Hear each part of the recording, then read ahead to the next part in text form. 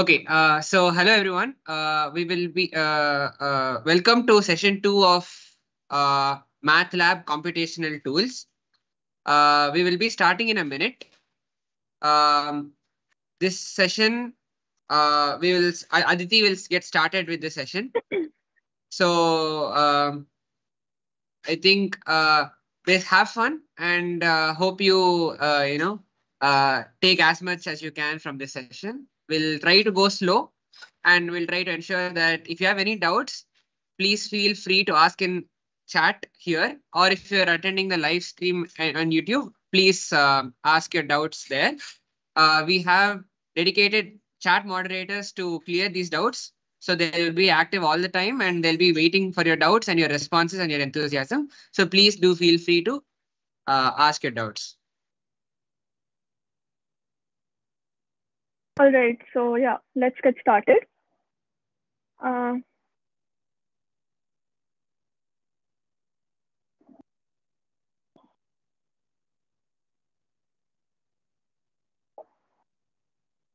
yeah, so uh, good morning, everyone. Uh, we're very thrilled uh, to have everyone with us today for session two of MATLAB.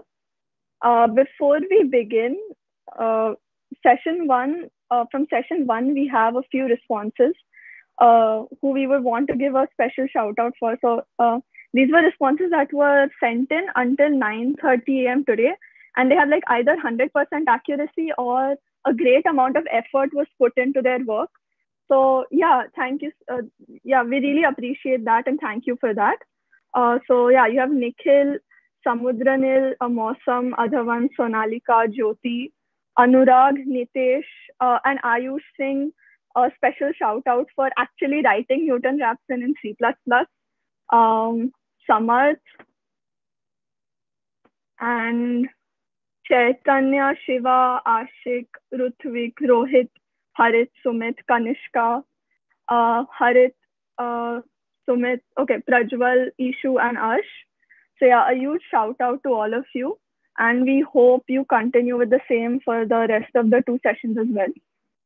Uh, right, this brings us to today's session on numerical methods of computation, which will be taken, the first half of the session will be taken by me, Aditi. I am, uh, I, will be going to my second year and I'm a coordinator in, of the mathematics club. And the second part will be taken by Pranjal.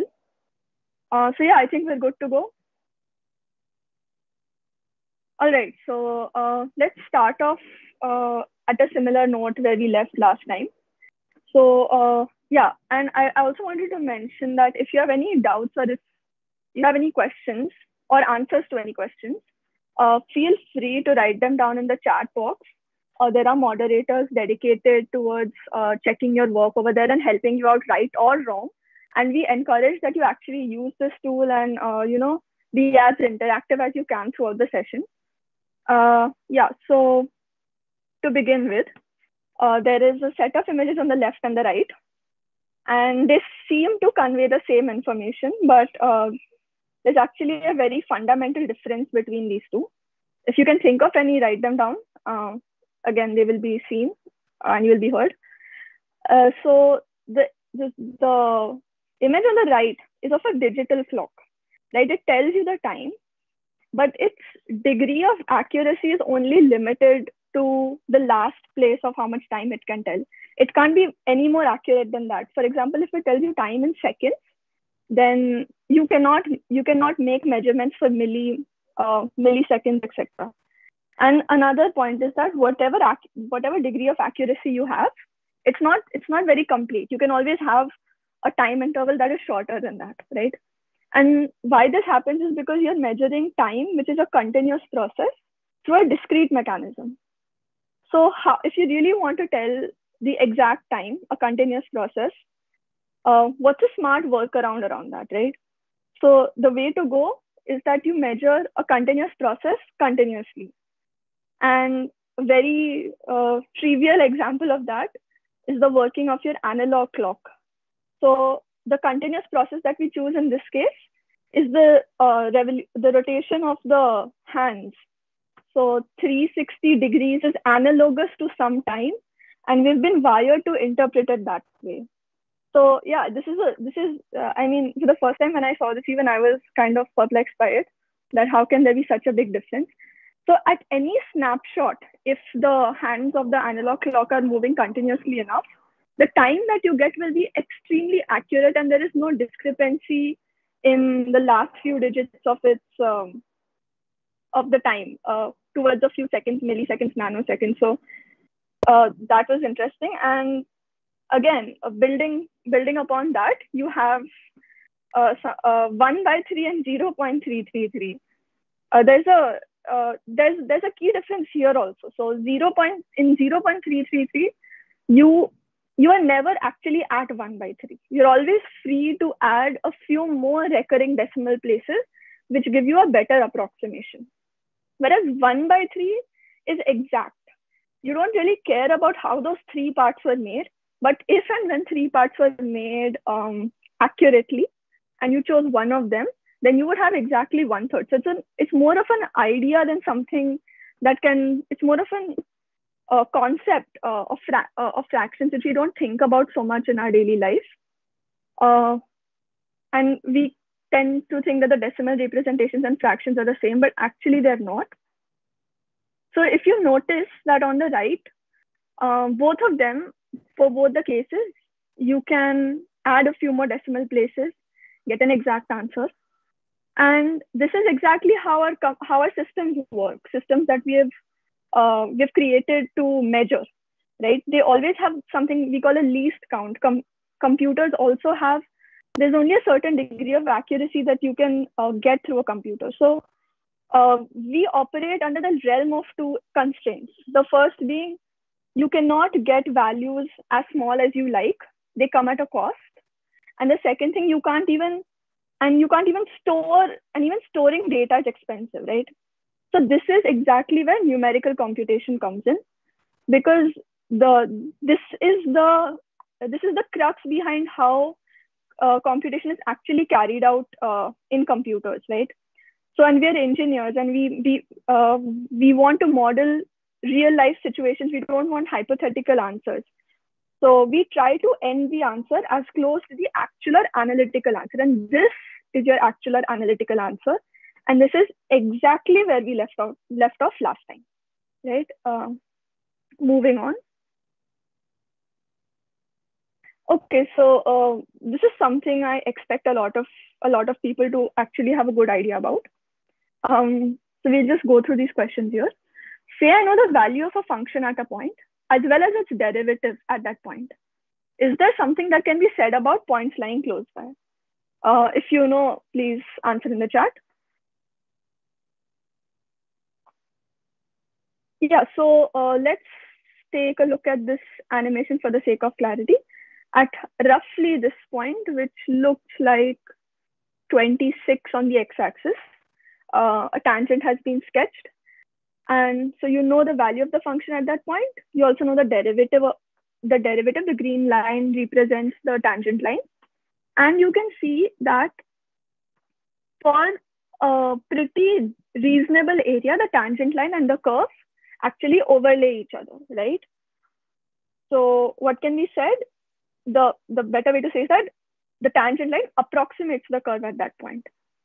Um, the second question, uh, do you notice any problems with this method? So I'm just going to play this animation. Right. So the, the purple circle, it represents the scope of uh, the region of interest. And as you can see, is as I increase that, the tangent line begins to massively falter. So it's only good up to a few places, right? So that's the problem. It works uh, uh, for points close by. Uh, the tangent line is a pretty good approximation. Uh, and another question I have here is, can you think of a function where this approximation is 100% accurate? So yeah, I'm going to leave that to you and the moderators to uh, uh, to do it in the chat. Uh, yeah, so this is exactly what a linear approximation is, uh, if any, in case anyone didn't know. Right. Okay, so let's make a few changes to the first problem. Uh, you have information about the value of a derivative at a point on, on, on the function. So you have the first order differential equation over here. Uh, what really is a first order differential equation? If you have dy by dx, it's essentially giving you the slope, uh, uh, the slope of the tangent at every point on the line. So you have value of the derivative over here. And you're also provided with one set of values that satisfy the equation. Uh, this represents a family of curves and this pinpoints to the exact function that you want to check. So what's the, so what are we trying to achieve here? Uh, you want to rebuild the function that satisfies this derivative and the given set of points. The only catch here is that you cannot integrate. So, uh, hey Aditi, uh, yeah, yeah. could you just uh, represent this part again? Uh, I think your video is slightly frozen. Uh, okay, uh, have I been audible the whole time? Yes, you have been audible. All right, wait. So you want me to stop sharing and start again? Uh, uh, maybe try turning off your video and present. Maybe it might uh, the maybe the presentation might be a little smoother. Uh, is this better?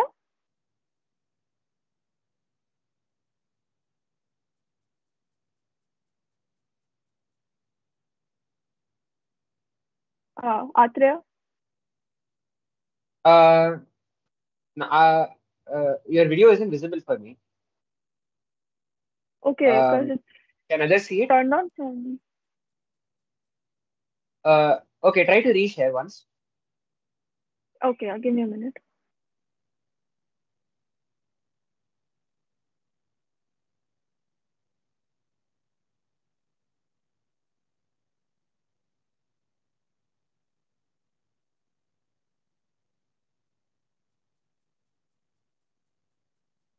Uh, the screen is visible?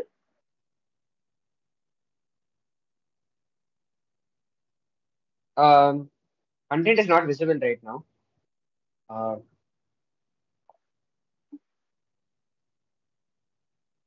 Um, can you see Okay, the uh, presentation? yeah, fine. I'll rejoin the meeting. Maybe that should yeah, try to rejoin the meeting. I'm sorry about this.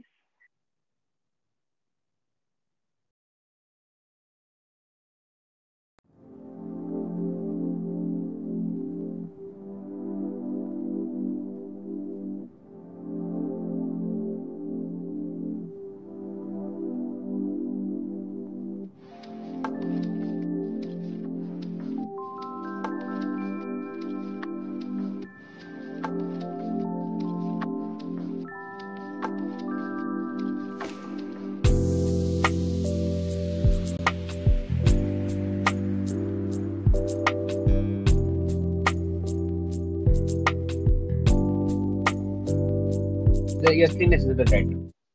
Okay, cool. And video also now. Yes. Okay, nice.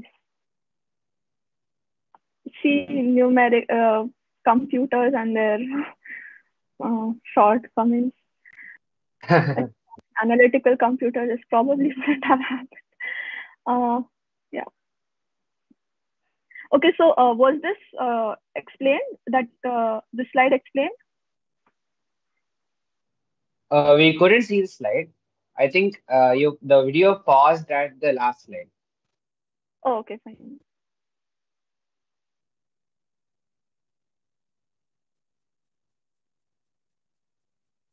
Yeah, okay, so I think uh, everyone was with me till here. And after that, uh, I lost connection. Yeah. So yeah, let's make a few changes to the first problem. Uh, you have a differential equation over here. Uh, first, it's a first order derivative, which uh, gives you a family of curves. And from that family of curves, by specifying the point, we decide what curve we want to, a function we want to work on. So your task is to rebuild the function, but the catch over here is you cannot integrate. Uh, so if you can think of any ways, that would be interesting. Um, but yeah, let's move on. so how do you how, how do we go about this, right? Uh, the idea is pretty simple. The intuition behind this is pretty simple. If you sample a nice number of points on this, and you know the order in which they are supposed to be joined, one after two, two after three, so on and so forth. And even if you're very bad at drawing, you will still be able to come up with this figure quite neatly. Uh, so that's the idea. And how do you go about this? Uh, the idea comes from a linear approximation. So between every two points, you make some kind of a linear interpolation. So let's actually see how this builds before uh, getting into any uh, getting into the actual method. And I'd and I'd encourage you to try to think of this on your own. Uh, we'll anyways we'll discuss the whole algorithm later, but uh, up to then.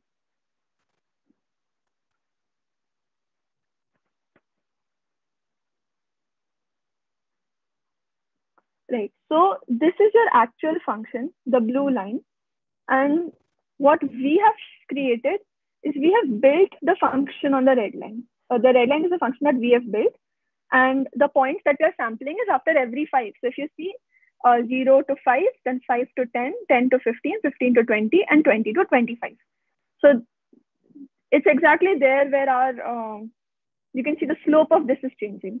So since the slope is changing, what you can say is that we know the derivative of, the, of those places is changing. So we're taking input about around five points in the given domain, and then we're trying to build upon this function. Yeah, so the step size over here is equals to five. Uh, this is incorrect. Yeah, I think it. Uh, you know, and uh, we'll now the step size uh, the step size here should be one. Uh, we'll see what happens if instead of sampling at every five points, if it's if you haven't understood what's exactly happening, that's fine too. I just want to uh, give some kind of notion as to how this how this plays out actually. Uh, instead of sampling every five points, we're, uh, we're sampling every one point over here. So let's see what kind of changes that makes. So as you can see, the function that we are, the, the red line is the function that we are sketching. Is it's, a, it's much better and it's much closer to the actual function compared to what we did last time. Uh, we can actually look at it for a particular point. Yeah, so see at x is equals to 10, the value of the actual function is 160, but the value that we got was 85, which is pretty bad. And uh, we'll do the same thing over here. Uh, stop this at x is equals to 10.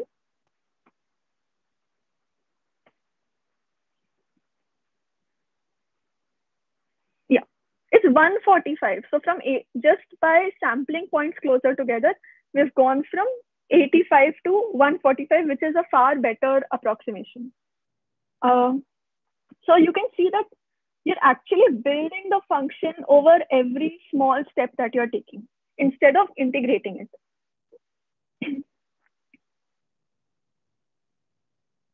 so now coming to the algorithm as to how this actually works. So uh, you can be pretty sure of the first point on the graph since it's already provided that was 0, comma 0. And you know the derivative at that point. And not only at that point, you know the derivative at every point thanks to your differential equation. And you also know that for a reasonable distance on the tangent line, for a reasonable distance, the tangent line approximates the curve. So what I can do is I know the point, I know the derivative, just sketch a tangent, uh, sketch the tangent line at that point for your small distance uh, or step size. So the next point you pick should lie close to the previous point and somewhere on the tangent line. And this is exactly what Euler's method of uh, numerical integration is. It's pretty intuitive uh, if you come to think of it. Uh, that's why we recommended like trying to get a grasp of this on your own. All right, so uh, small quiz which of the following will make your results more precise? Uh, reducing step size, including higher order derivatives, assuming, okay, a non-linear interpolation. Let me just explain that. Um, yeah, so here,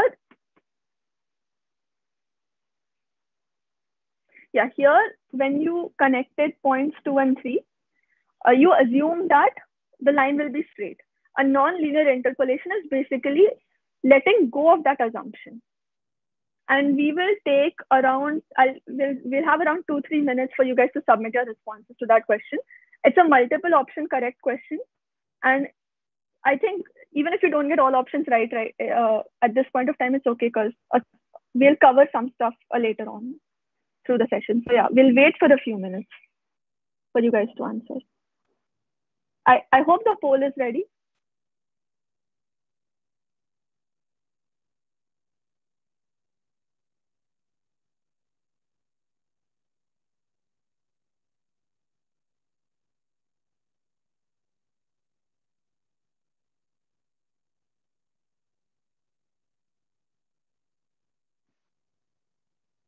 Yeah, uh, this is a multiple option correct question.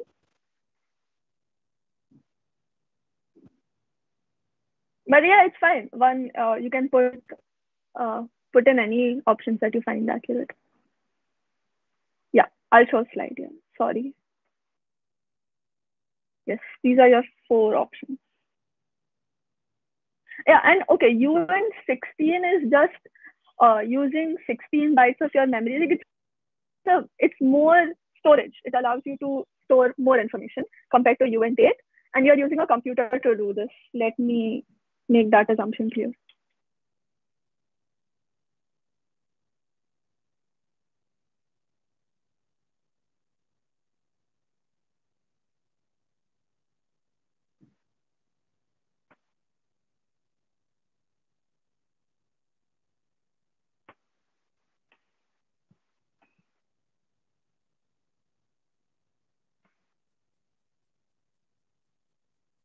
We will discuss solutions in a bit or just put answers right now. We'll wait for like just one more minute, probably. We'll start.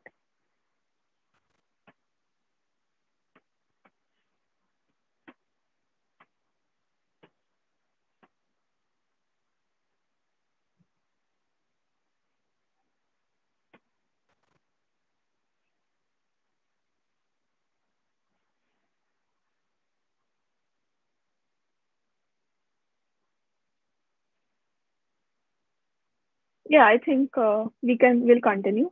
Yeah, we'll get back to the solution of this question. We'll discuss some more and we'll get back. Uh, yeah, so I'll resume. Uh,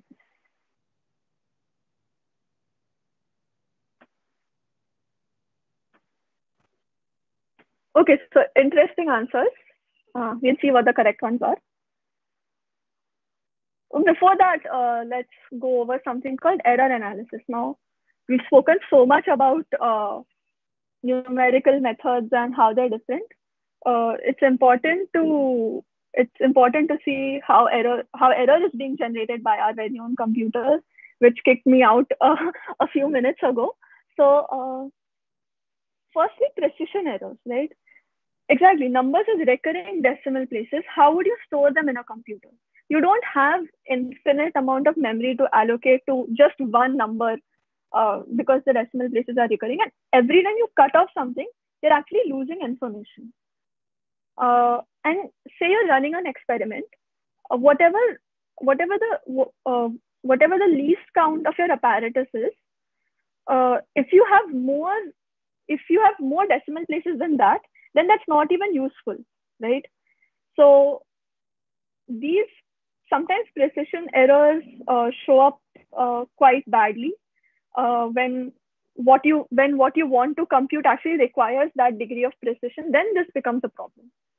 And the second thing is discretization errors. So i'm pretty sure a lot of you are familiar with this. This is taylor series and this is like uh, the holy grail of uh, you know uh, finding the value of a function at another point. Uh, x minus so let's how this works. f of x this is the point that you want to find. F of A is the information of the point that you already have. X minus A is the distance between the point you want to find and the point you have, which is equivalent to a step size in this situation. I hope that's clear for someone who didn't know what Taylor's series was. So if you look at this closely, up to now, we've taken f of x, f of a, and we've considered the first derivative. Terms after this have completely been chucked off. So that shows up as error because Taylor series is 100% accurate. We cannot get into the proof of Taylor series right now, but if you go to think of it, uh, it, it, it, it does make sense that you add more you may not know the actual value of a function at the point, but you have, if you have information about all required derivatives, you are good to go.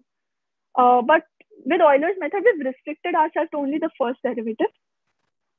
So all these other terms from f double dash a to your uh, to the as many terms as are non-zero, they show up as errors. Now there are two kinds of errors. Uh, one is local error, so error that shows up at each step. So what lo local error basically assumes that the step that you took before it was accurate. How much error has built upon that? So I'm assuming f of x is absolutely correct. Uh, f of a is absolutely correct. I'm finding f of x, uh, hiding all these other terms.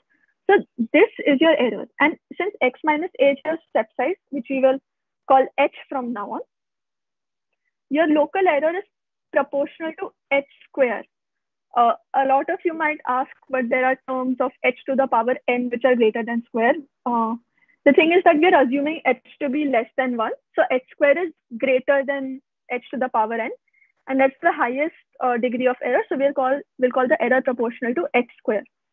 And then you have global errors. So the thing with local errors is that you assumed that uh, this was correct. However, this was also not correct because this was also derived from a point before that. So the net accumulated errors, that is uh, local error into the total number of steps you took. So h square into something is your global error. And it would be nice if you could actually uh, tell the proportionality in the chart. For local error, for global error, sorry. Local is proportional to h square.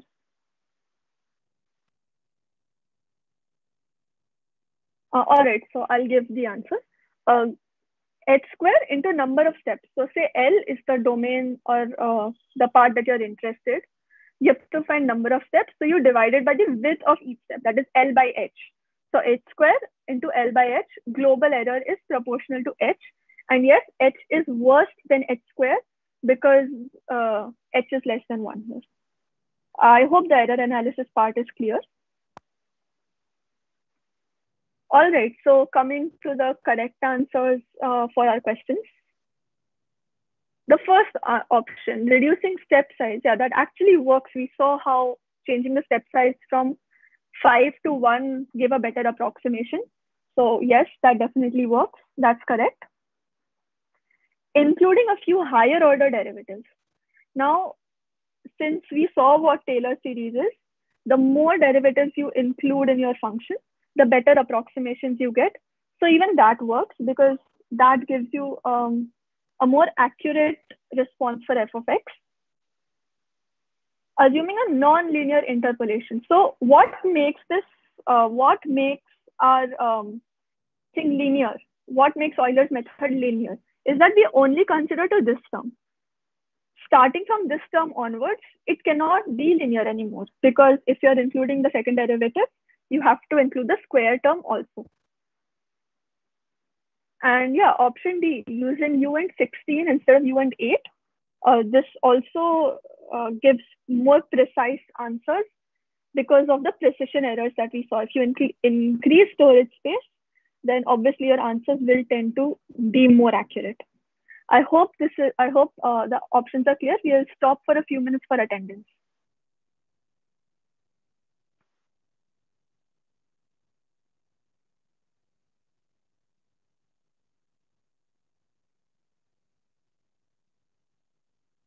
Yeah, a chat mods, you guys can give attendance. You can post attendance now.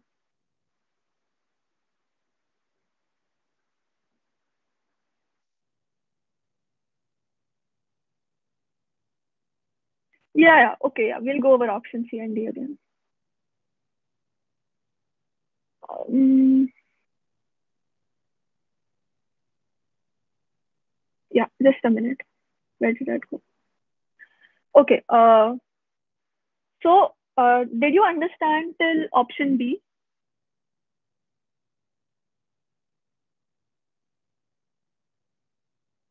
Yeah, okay. Uh, so option B was clear. So the thing is that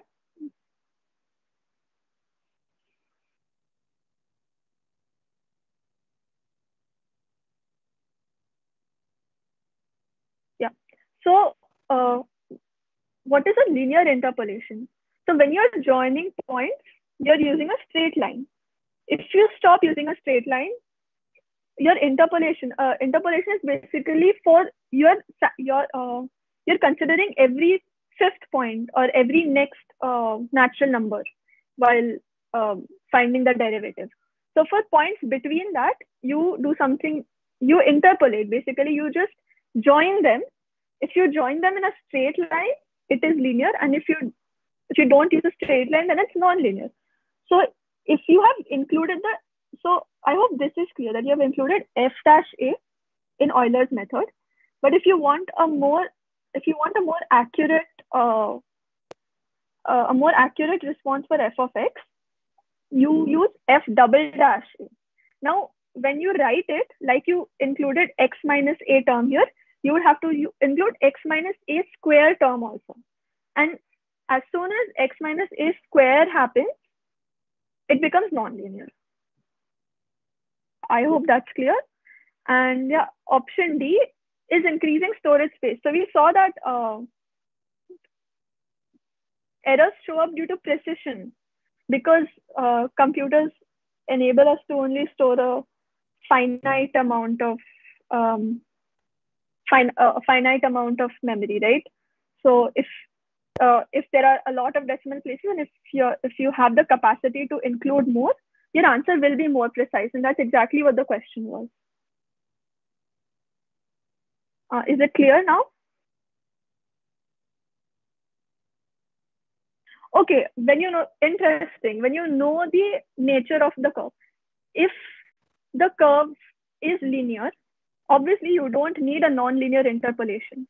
But the nice thing about that is your double derivative also goes to zero.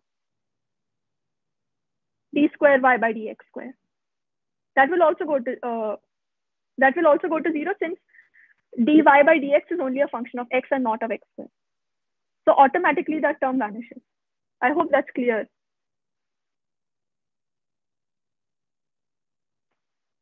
Okay, yeah, oh, yeah, global error is proportional to h. Okay, global uh, global error uh, proportional to the global error is local error into the number of steps because at every step error at every step thus far error has been built.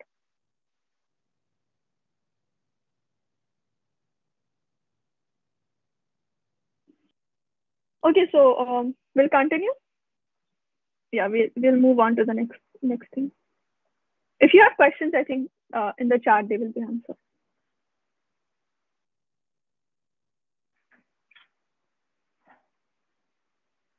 Yeah. Uh, so uh, we saw Euler's method, and we saw that it's it's not even very accurate. Uh, we've come up with a few modifications to Euler's method that Okay, I'm getting a response to wait for just a couple of minutes more. I will do that.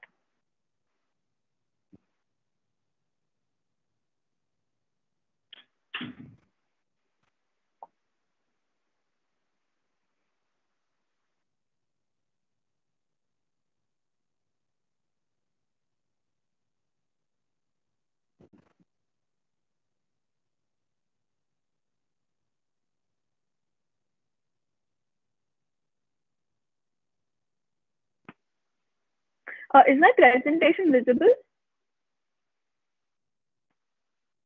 Uh, yes, yes, your presentation is visible. Yeah, okay.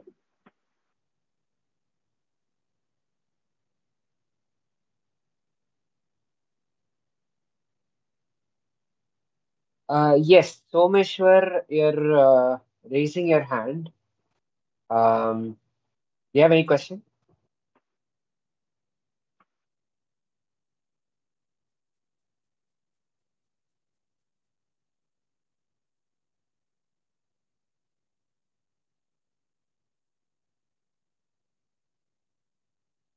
You can unmute and ask your question if you want.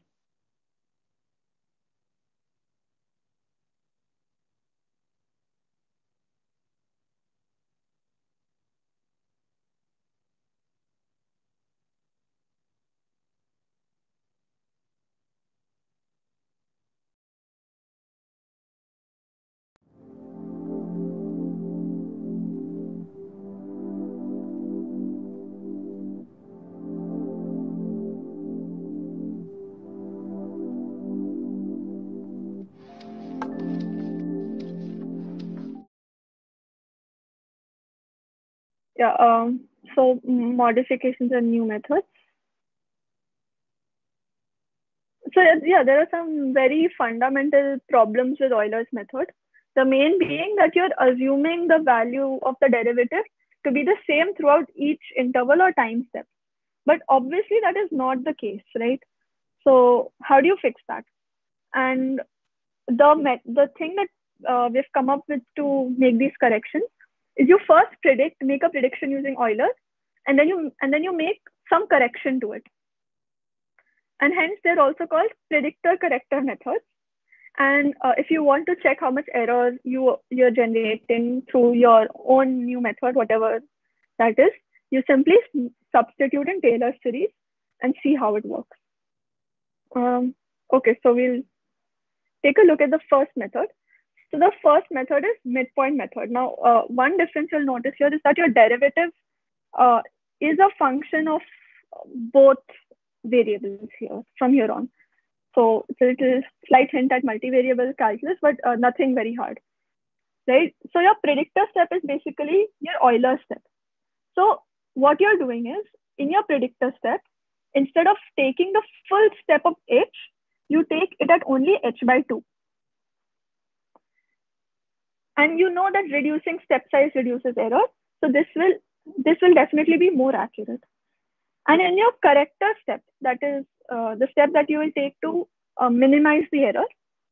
So first you find this, uh, what this is at, uh, at y, at exactly half the step size.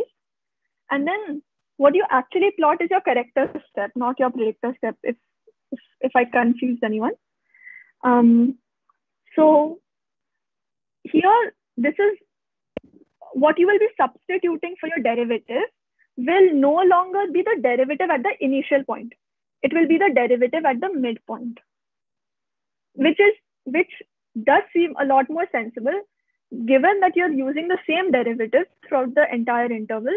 It makes a lot more sense to use the derivative at the midpoint than to use the derivative at the initial point. And this actually uh, this actually has significance when we analyze the error over here. So the error, uh, local error, also known as local truncation error. So how do you obtain that? That is, um, first you apply a Taylor series expansion on the previous term. Again, the previous term for both of these is the same. This is so, so this is capital yn plus one, this is small yn plus one. So they're representing two different things. They're representing one step after a previous term. And in both the cases, the previous terms are the same. So this one, the difference, where's the difference then, right? If the previous terms are the same. If the difference is how, in terms of how the next term is obtained. So capital Yn plus one is applied by, by doing a Taylor's expansion of the previous term and the small yn plus one is obtained via midpoint method. That is the method that we've discussed here. So just to a brief synopsis of this, you start at a point, uh, you do an Euler's um, approximation for a point at half the step size. You find, and when you're and when you're actually applying the algorithm, instead of using the derivative at the initial point, you use the derivative at this new point, which is midway. Uh, I hope this is clear. Then we'll go to the uh, next part. Okay, so yeah, so for those of you who've seen multivariable calculus, this won't be that painful, but uh, for the rest of us, we'll see. So just look at this for right now, right? We said we are applying a Taylor's expansion of the previous term, and that's exactly what we're doing. So the previous term in both cases is the same. Small yn, capital Yn, both are same. We've taken only small yn here. And we've applied a Taylor series expansion. So that x minus a is h. Your first derivative, h squared by 2, that is x minus a squared by 2 factorial. That term is also uh, very understandable. The problem will come when you will try to compute the second um, f double dash of a because now you have two variables. But I think we did see in the last session how uh, how these kinds of derivatives work. So you you you take a part you take so uh, the important thing to remember is f t of y is already a derivative with respect to t. d by dt of that is like taking its derivative once again. So even if you don't understand how this works, it's it's it's not that important. Um, so you basically take derivatives with respect to the individual variables. So dou f by dou y. Again, f is already a derivative. Let me remind you, that's what's showing up here. f dash of x into x minus a. f dash of a into x minus a. x minus a is h. And f dash of a is this term, which is already a derivative. So, uh, a lot of people get confused because uh, they think that a derivative term should come here. But yeah, we've already mentioned that f t comma y is, is dy by dy by dt. Uh, so this is how you compute your second derivative. Simply substitute it over here. And the next term that you get will be something h cubed by 3 factorial. So it's something of the order cube. So that is the first term for you. That is uh, this side, yn plus 1. Let's go to the thing that we obtain via midpoint method now. Okay, so first things first, uh, multivariable Taylor series. What we saw Taylor series was for f, x plus a. But what if there are two variables and how does that work? So first, obviously, f of x comma y. Then h is the increment from h. k is the increment from your other variable. So h into the partial derivative with respect to x plus k into the partial with respect to y. And after this, all your terms will be of the second derivative. So terms like h square, k square, 2hk, so on will, will start showing up. But for us, since we are applying Euler's and Euler's concerns itself with only the first derivative, we, we don't need Taylor's expansion beyond this point, except for knowing the fact that after this, the proportionality is with h square, which is the increment from h, and there'll be a term having k square and one term logically if there's h square k square and the combination of both is also possible that's where 2kh comes from. And when you uh, write for the cubic term you'll find all your um, 3c uh, all your combinate um, permutations and combinations of the third term possible over there. But uh, we'll skip that for now. So applying exactly, uh, yeah, okay, this h square and k square. So when you write uh, the, when you when you write Taylor's expansion for this, you will get terms. Uh, you will get in terms of h square and k square. I'm sorry if this is confusing anyone to uh, think that h square into k square. It's not like that. There'll be one term having h square. There'll be another term having k square. But the important thing is that the uh, the order uh, of this will be h since we are assuming that the increment in step is less than one. I hope that's clear now, uh, what it means.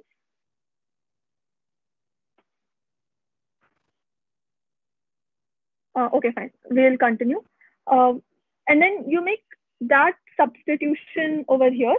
So in place of h, you x plus h, you have t plus h by 2. In place of y plus k, you have y plus what was obtained over here. I will probably not uh, go very deep into this, uh, this, but yeah, it's it's pretty understandable. You're doing a Taylor series approximation for this. So h by 2 over here is nothing but h over here, and f of x is here is f of t here. So that's where this term comes from. Um, f of y here is the same thing over here, and your increment, that is h by 2, f y of t comes over here. I think that's pretty clear. So when uh, so when you write yn plus 1 in terms of yn plus uh, in terms of your yn plus your h into the derivative, this is what you get. All h square terms go away, leaving your uh, truncation, local truncation error proportional to h cube. As we saw in uh, Euler's, it was proportional to h square. And again, h cube is better than h square because we are assuming that h is less than 1. Uh, if this is not very clear, uh, it's fine because it requires a little bit of understanding of. Yeah, okay. So let's leave the proof. The proof is something that anyone can do if you know how it has to be done. Uh, we'll go over this thing once again. So a predictor step, you know Euler's isn't accurate. So you make a prediction and you try to correct it in some manner. So your in your predictor step, instead of going the whole distance h, the whole you're taking a step and that step size is h. Instead of taking the whole step size, you take half the step size over here. And in your corrector step over here, you use the derivative at that point because the differential equation will be, uh, you use the derivative. See, the differential equation is a function of t and y. It's not only a function of x like it was last time. So yi, that is your previous, uh, previous value, and h into some derivative. The derivative that you are using this time is the derivative found at the midpoint versus the derivative found in the, at the initial point in Euler's method if the intuition is clear, we'll move on. I mean, uh, the error and all is fine. That's uh, self. You can do it on your own anytime later.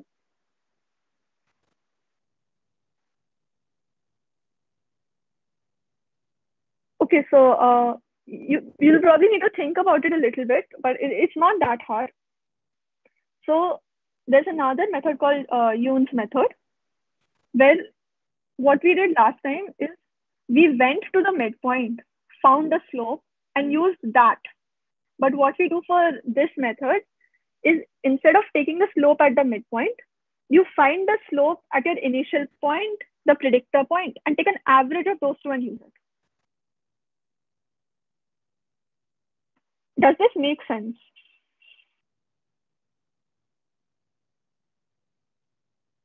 So here too, all your h square terms go away, leaving your error proportional to h cubed.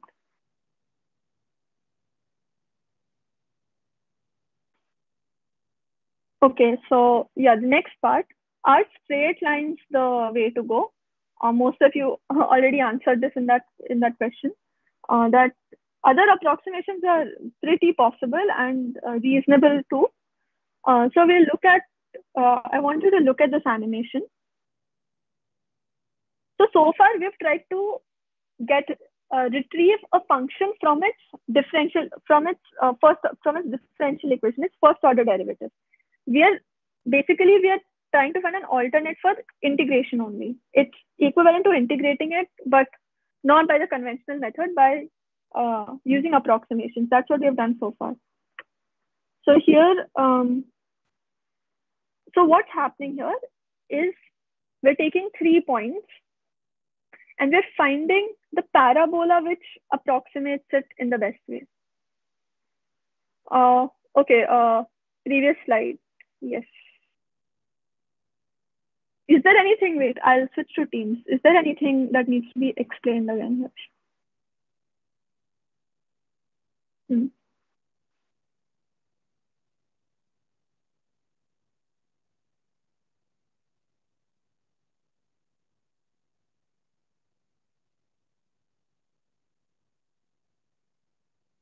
Uh, is this clear? Okay, you want an explanation for this. Okay. Um. So for what we did, okay, first Euler's method, the very basic thing. You start at a point, find the derivative at that point, use that derivative for the whole step h. then midpoint method. You start at a point, find a, but you're going to travel a whole step size of h. So instead of using the derivative at the initial point, use the derivative at the midpoint for the whole step size. And then very similar to this is this method. And what you do here is uh, start, find the derivative at the initial point, find the derivative even at the next point, where, which you would have found for Euler's method. But you use an average of those two over here. See, again, the problem, the only problem with uh, Euler's method is you're assuming that the derivative remains constant throughout your step size. I hope that's clear now. All right, nice. Hmm. Moving on, uh, yeah.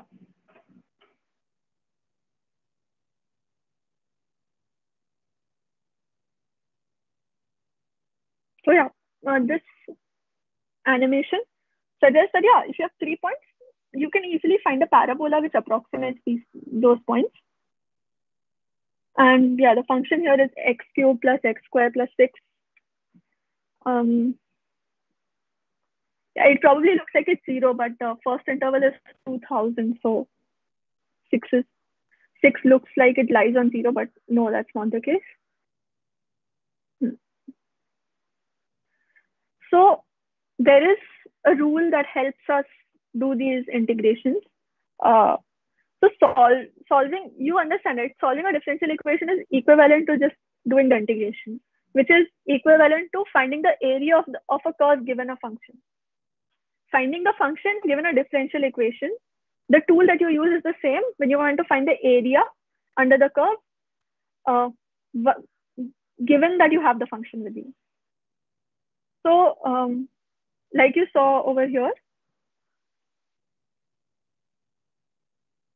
uh, there's a there's a parabola which is approximating every three points. So now instead of finding the area under the function, we'll find the area under the parabola with this and this limit. And, uh, and then there's something called Simpson's one-third rule, which helps us do this very easily. So uh, what you do is that for whatever area you have to integrate, what Simpson says is that it is equal it's equivalent to whatever h is again your step size so h by 3 your uh, first and last points you write uh, you write the value of the function as it is over those two points. And then you alternate with 4 and 2 weights for even and odd places respectively. Uh, the proof of this is quite, quite tedious. We will not go through that right now. But if you want to take a look we use this rule in approximating the area under the parabola. Because if you actually have to do ax square plus bx plus c uh, that and then integrated find a find b find c. That is your uh, the co leading coefficients of your parabola. That's quite tedious. So better than that you use this rule. So fa and fb are your two boundary points. You write them as it is. And then you weight this by 4 over here. So you use Simpson's rule, and if instead of uh, instead of using three points, if I use five points uh, for approximating the area under the parabola, I would go one, two, three, four, and five. I would use five points. FA and FB, that is your starting and initial points would have been the same. And then that and then you have three more points that you have chosen that you have to add. So the first one would be multiplied by 4, then by 2, and then by 4 again. But since you have only three points, you write the boundary points first, FA and FB, and then you start weighting them even and odd, like 4 and 2 respect. Odd and even, 4 and 2 respectively. So that is Simpson's one-third rule. Uh, the interesting thing about this is just doing this much makes your error proportional to h to the power 5, which is again a far, far better situation than uh, Euler's or your modified Euler's method. And uh, if you want to read a little bit more, uh, I've attached this link over here. It's uh, it's it's a nice explanation I found on the internet for this. If you're very into and really want the proof, um, and if you want the proof for this, just this much, I have that too. it will be shared later. Yes, that's it from me. Thank you.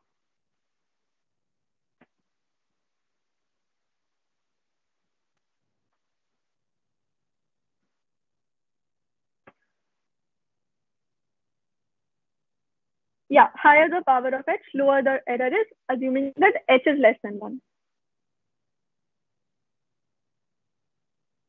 Yeah, uh, we'll share the second attendance link now. And uh, Pranjal will uh, continue after this. Thank, thanks a lot, everybody. Yeah, uh, doubts. Yeah, we can take a few questions. Attendance and doubts now.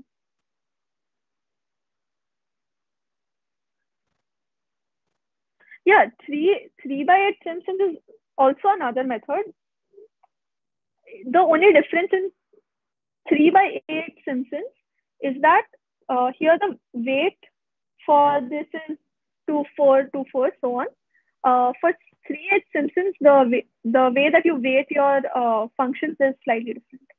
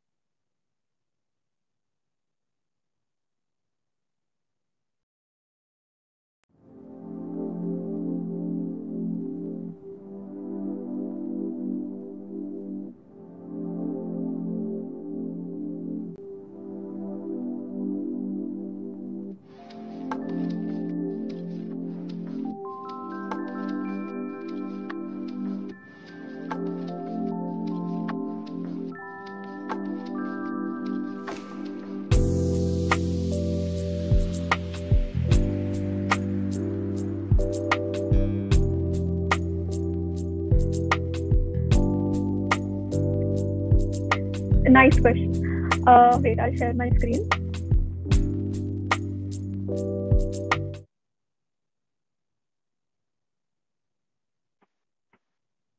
Okay, so is this curve a parabola? No, right? It's working for any general curve. What we chose here was a parabola. We want to find its area easily. And we are using Simpson's rule for that. Simpson's rule doesn't really have much to do with parabolas we're uh, we're using Simpson's rule to make our life a little bit easier. I hope that answers your question.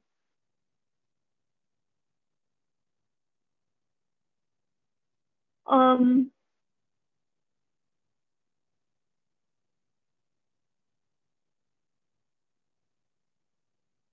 okay, yeah, Heun's method is improved Euler's method. It's exactly that, predicting by Euler's method and making some correction to it.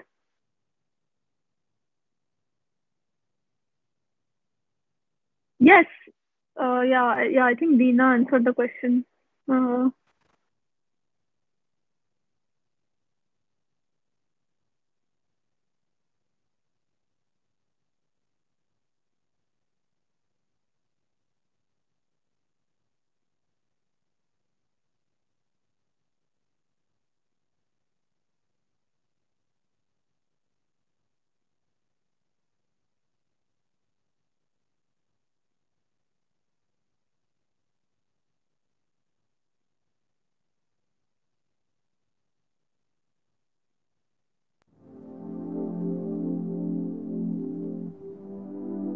Yeah, um, am I audible and visible? Yes, you are. Okay, uh, let me share my screen.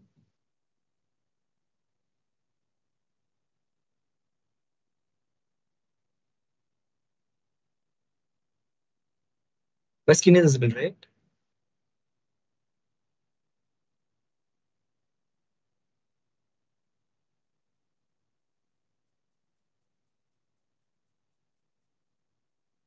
Okay, so hey guys, I'm Pranjal Vashne.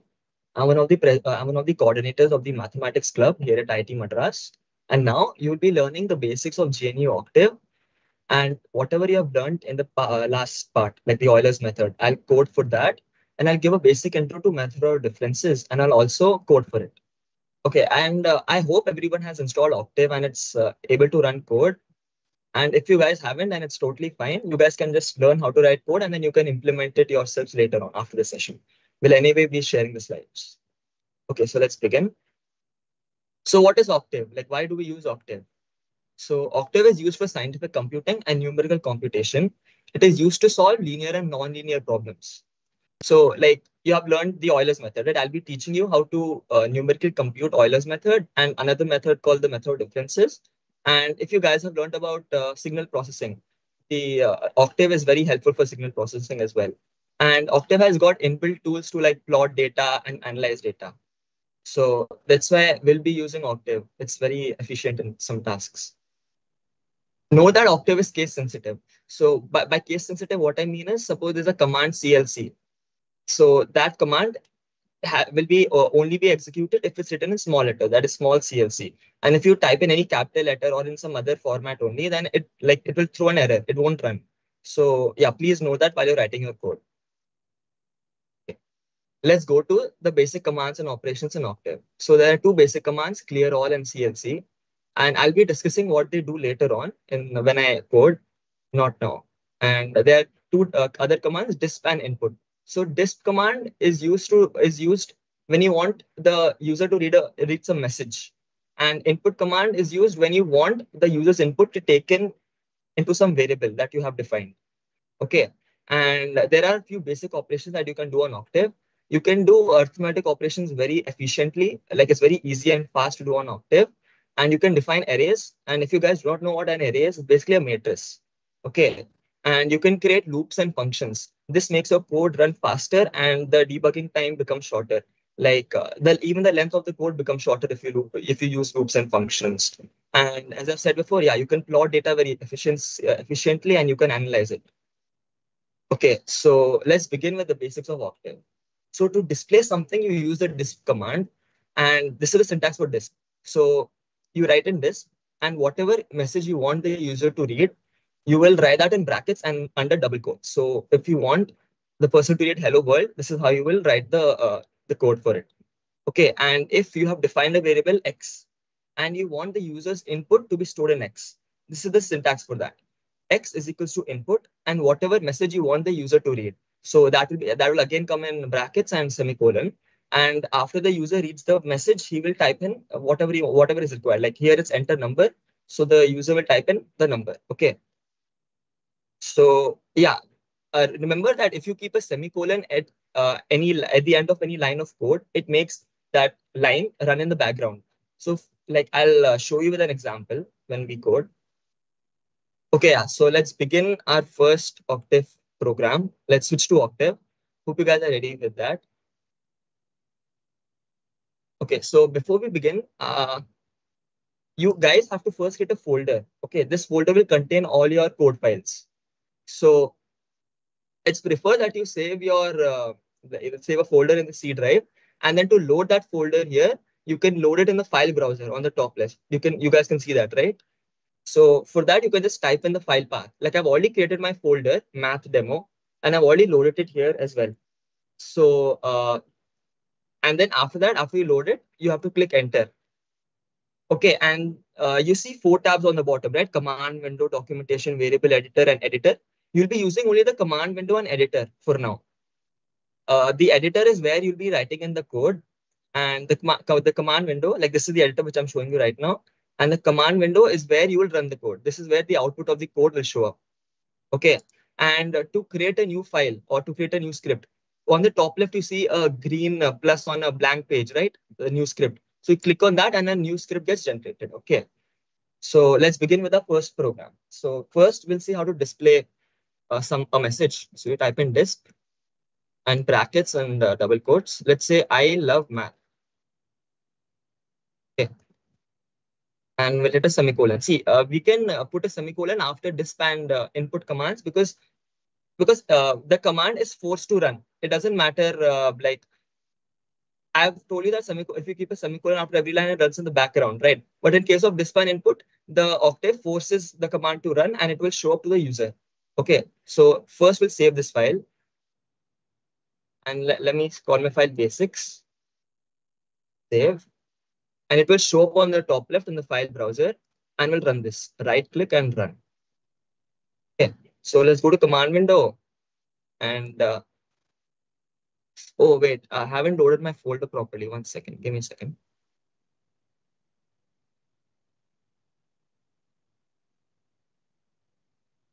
Let's uh, let's uh, name a new folder demo and then we'll load this folder on octave. Okay. So let's close octave.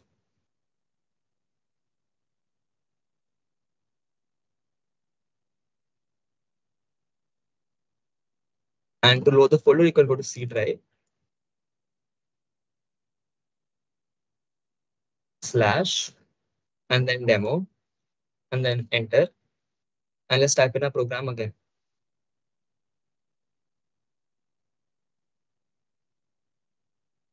So this, I love math. We'll save it as basic. It should be saved in demo folder and we'll save it. And now let's run this. So as you can see in the command window, the output comes out, I love math. That was expected. Okay. And now let's do some basic arithmetic operations. Like suppose you just want to display what 2 plus 2 is. So you can just type in 2 plus 2. Unlike other programming languages, you can just type it like that and you can save it and run it.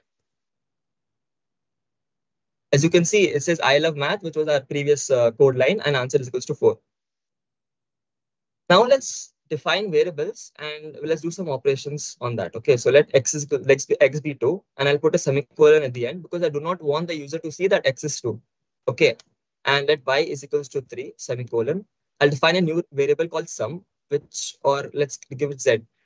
This z will basically uh, be the output of x plus y. So z is equals to x plus y, semicolon. And I want the user to see what z is, right? So I'll simply put z. Okay. And uh, I'll save this and I'll run it. So as you can see, it says I love math and z is equals to 5. Now observe that all the outputs of the previous codes are displayed as well, right? To clear this, you can use the command CLC, which I've told you earlier. Uh, you can, you, it's a good habit to always uh, put this command CLC. There's one more command called clear all. On the left side, you see the workspace, right? Uh, which contains all the variables and the data types. It will clear uh, when, when you uh, like when you when the clear all command gets run, it clears all the stored variables of the previous run. Okay, so it's always a good habit to write clear all and CLC on the top of your code. So clear all and CLC. Okay, and if you want, we can run this program again. Yeah, as you can see, uh, it's uh, like the previous outputs have been cleared and a new output has been generated. Okay, so now let's see how we can take in uh, the user's inputs for our variables. Okay, so x is equals to input and then always note that between this the disp command and the next bracket, like this bracket, there should be no space. And the same goes for input. So the bracket after input, there should not, not be any space between input and bracket. Okay, so input, enter your first number. We'll just add up the two numbers, the same the thing which I've done before. So enter your first number. Okay. And then uh, we'll, we'll, hit, uh, we'll hit a semicolon. Pi is equals to input enter your second number. Okay, and then uh, z is equals to x plus y, and we'll print z. So save it and run. So enter my first number. Let's enter 10. Then let's enter 23. The answer is 33 and it displays that. Okay, so I hope you guys are clear with the basics. Uh, I'll take a two minute break and uh, you guys can experiment with these. I'll take your doubts. You can, you guys can ask your doubts and I'll address them. Okay. So was it clear? Was everything clear till now? Could you guys properly code? Okay, cool. Please show how to create a file. Yeah, sure. So you on the top left, you see a green plus on a black page, right? It says new script.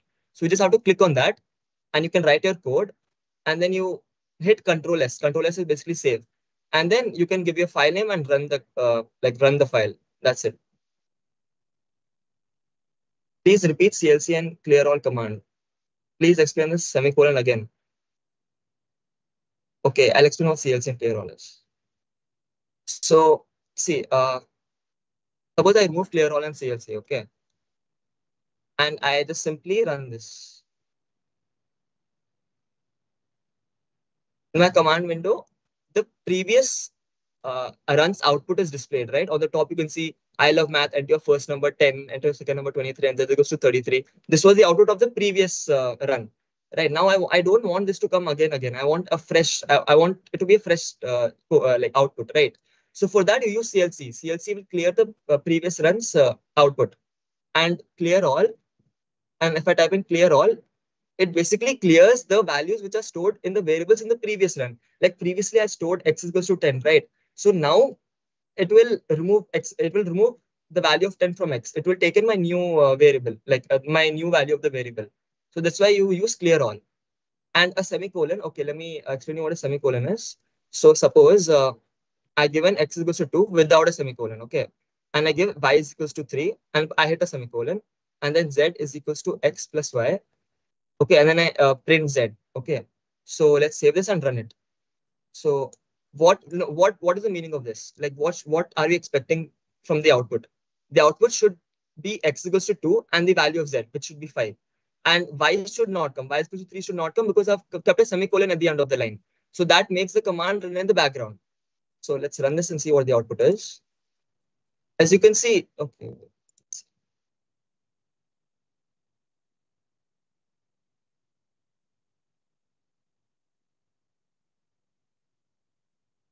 Seems an show with the file, one sec.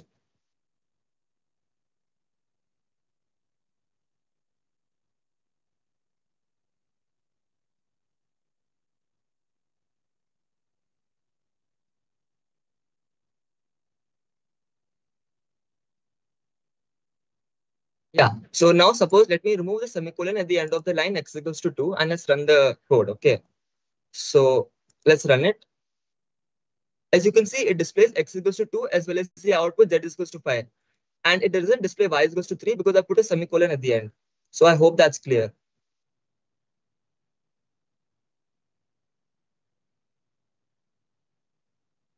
Uh, I'm not sure why are there a few lines between z and 7 something there's there, prob there could probably be an issue with your formatting. That's weird. Okay, I'll just continue for now. You guys can ask it out later. So uh, give me a second.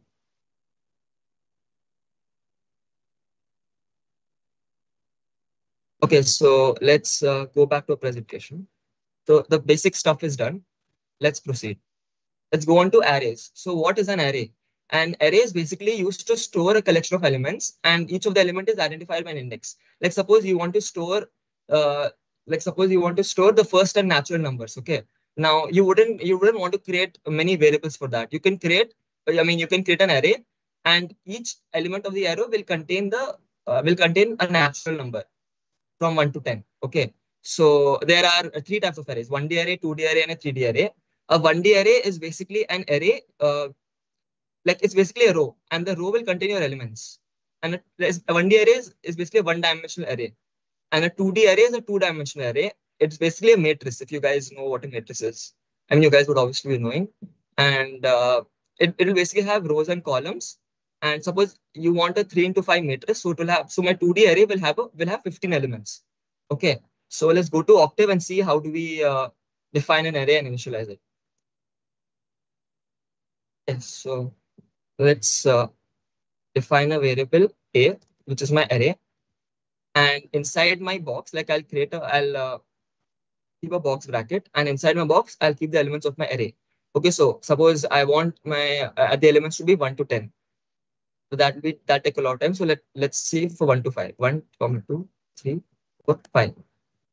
And then we'll print our array. Okay. Let's see what the output is. As you can see, it prints the elements of the array. So, uh, but now what if I wanted to print elements from 1 to 20? It will take a lot of time to manually like write it down, right? So there's a shortcut to it. It's basically the first element colon the last element. Okay. So 1 colon 20 because I want to print elements from 1 to 20. I mean, I want the elements from 1 to 20 to be stored in my array. So let's run. Let's see what the output is. Okay, yeah. So the output like 1 to 20 cannot fit in just one line, right? So like if I reduce the size, it would it can probably fit in one line. But because of space issue, it has shown the output in two lines. So like columns from 1 to 13 and columns from 14 to 20. Okay. Uh yeah. So now what if I wanted to print elements? What if I wanted my elements to be from 1 to 20? And between two numbers, there's a difference of 3. By that, what I mean is I wanted my elements to be 1, 4, 7, 10, 13, and so on. Okay, so again, there's a shortcut to it. It's just an addition to this. It's going to be the first number, colon, the step difference, which is 3, like the difference, which is 3, and then colon, the last number. So 1, colon, 3, colon, 20. Okay, uh, we'll save it and run. As you can see, it displays the numbers 1, 4, 7, 10, 13, 16, 19, which is what we wanted. And it won't display 20 because 20 is not 1 mod 3, like it won't be generated in the sequence. Okay, so that's it for a 1D array. Let's move forward to a 2D array. Okay, so a 2D array, for, uh, for getting a 2D array, it's the same as getting a 1D array, except after you type in the elements of every row, you'll put a semicolon a semicolon would mean go to the next row and consider the elements from there. Okay. So suppose uh, I wanted to create a two into three matrix and my first row has one comma two comma three, the elements, and my second row has four, five, six. Okay. So one, two, three, a semicolon, and then four, five, six. Okay. And then let's display my array. As you can see, uh, my array is sh shown. Now uh, I'll teach you a concept called indexing. So as you can see, like the first uh, the first element is one. So the index of that is one comma one. What is an index? An index is basically an identifier to an element of the array. So and uh, the the index for two, like which is the second element, is one comma two. Is basically row comma column. Okay, the index is row comma column. So if I wanted to print what the value is in the uh, is in the 2 comma 3 element of the array. So for that, I can simply do A and then uh, brackets 2 comma 3. Okay. And always remember that indexes start from 1, not from 0. Uh, unlike other programming languages like Python and C, the index start from 0. But here the index start from 1. Okay. So uh, two for uh, the 2 comma 3 element should be 6, right? So let's see what Octave gives us. Yeah, it gives us 6. So that is called indexing. I hope you guys are understood this part. So let's proceed forward. This is a 2D array. And this is indexing, which I've just taught. Okay, now loops. So what's a loop? Like what's a loop used for? It's basically to execute a group of instructions multiple times a, uh, until a certain condition is met. Like if I want to uh, display my uh, this thing, uh, a number, from 1 to 5. I want to display numbers from 1 to 5. Instead of writing them manually, I can create a loop and display them until a condition. My condition here will be I, till i is less than equals to 5, it will display i. Okay. So there are two types, of, and it will be uh, why are using loops is so that it can save our time. It can shorten the length of our code, right? So that's why we use loops. Okay, and there are two types of loops: a for loop and a while loop. So there's no difference between these as such. Like there's obviously a difference in syntax, but you can use both of them. And in some uh, programs, you will find it easier to use a for loop, and in some others, you will find it more better to use a while loop. Okay, so let's see how do we create for loop. So a for uh, a for loop. So uh, in this example, I've displayed numbers from k is equal to 0 to 5. So I have taken my variable k and I'm going to start with 0 and, and I want it to and I want it to like increment after every loop and display what, k is, right? So I want my condition, my condition is that it will display k till k is less than equals to 5. So let's see uh, how do we do that on uh, Octave. So my for loop will be uh, like the syntax will be for and in brackets you will write your uh, variable k. This variable k will start from zero and will run till five. Okay, and I will display my k, and automatically for uh, a for loop will increment k after every loop. Okay, so I do not need to specifically write that down, and then I'll end my for. So let's see what my output is. As you can see, it prints out k is equals to 0 uh, till k is equals to 5. Now let's go to a while loop. Okay, so in a while loop, basically you need to specify what your initial uh, initial value of k is, and then you will write the condition after you write while. So while k is less than equals to 5, it will print k. And unlike a for loop, you have to specifically write your incrementing k by 1. Okay, so let me show you. I is equals to 0. Okay, that's my initial uh, value of i. And then while, I'll write my condition, while k less than equals to 5. Okay, I will display my i, right? And I will increment by i my i by 1. So I can I can do this in two ways. I can either write i equals to i plus 1 or there is a shortcut to it. I can write i plus plus. So i plus plus, and I do not want this to be displayed. I want only the value of i to be displayed to the user. So I'll press a semicolon. Okay, and then I'll end it to save. And then, okay, yeah, my variable is i, k. So I'll save it and then run. As you can see, it's the same output as before. i is equals to 0 uh, till 5. And uh, yeah, this is another way of uh, getting this output.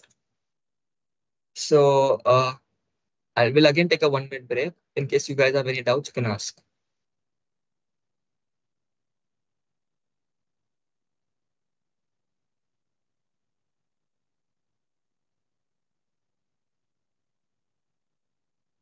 Somebody raised, uh, Archana raised her hand. Do you have a doubt?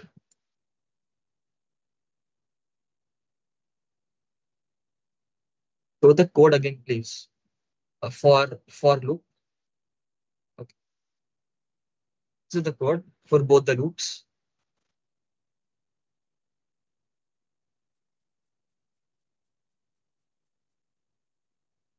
I hope that's clear.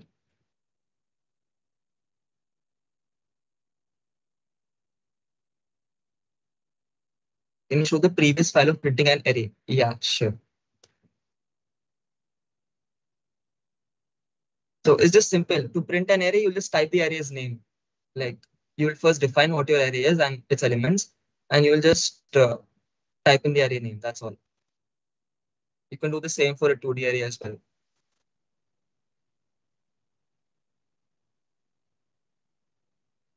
Okay, then uh, if the increment operator is showing errors, then you can just use i equals to i plus 1. That's just a shortcut. With the end statement, no, the end statement wouldn't have an indent. It should be from the start of the line. Yeah, it should work.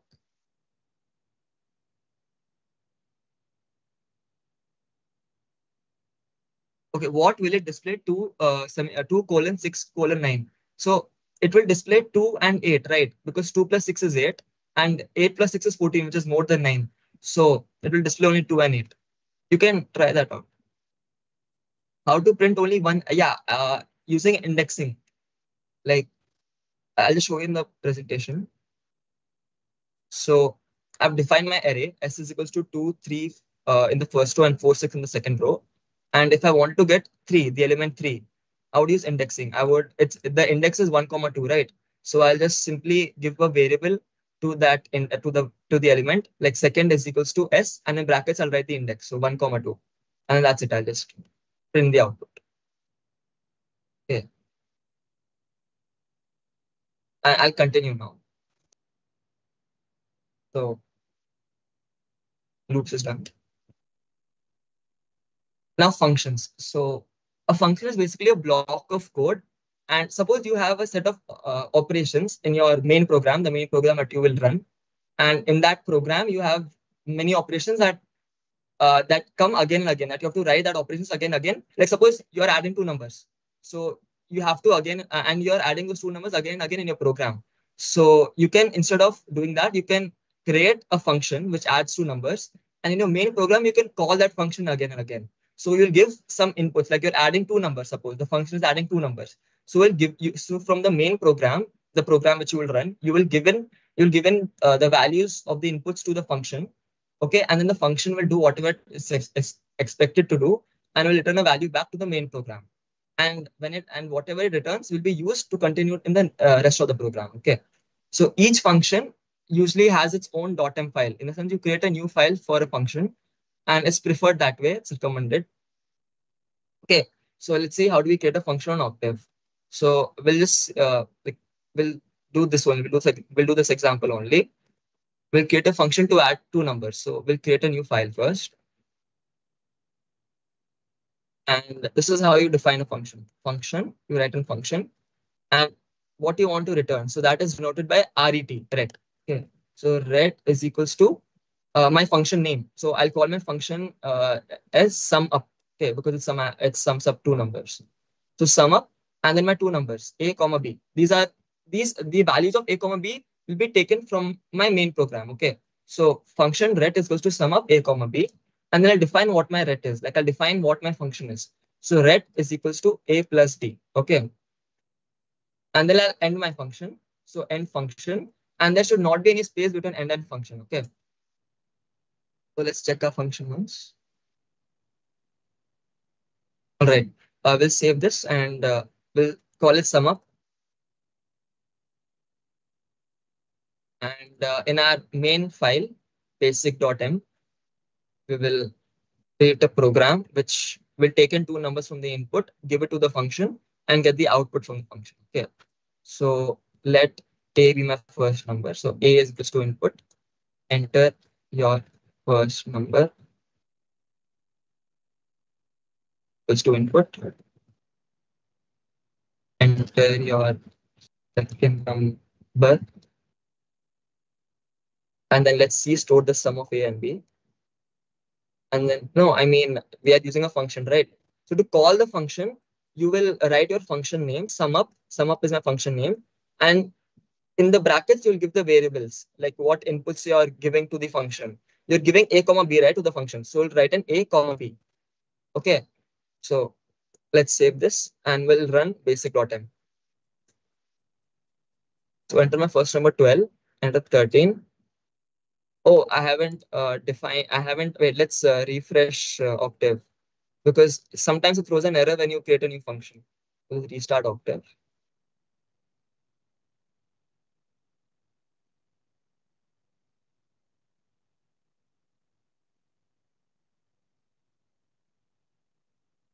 And let's uh, open my folder first.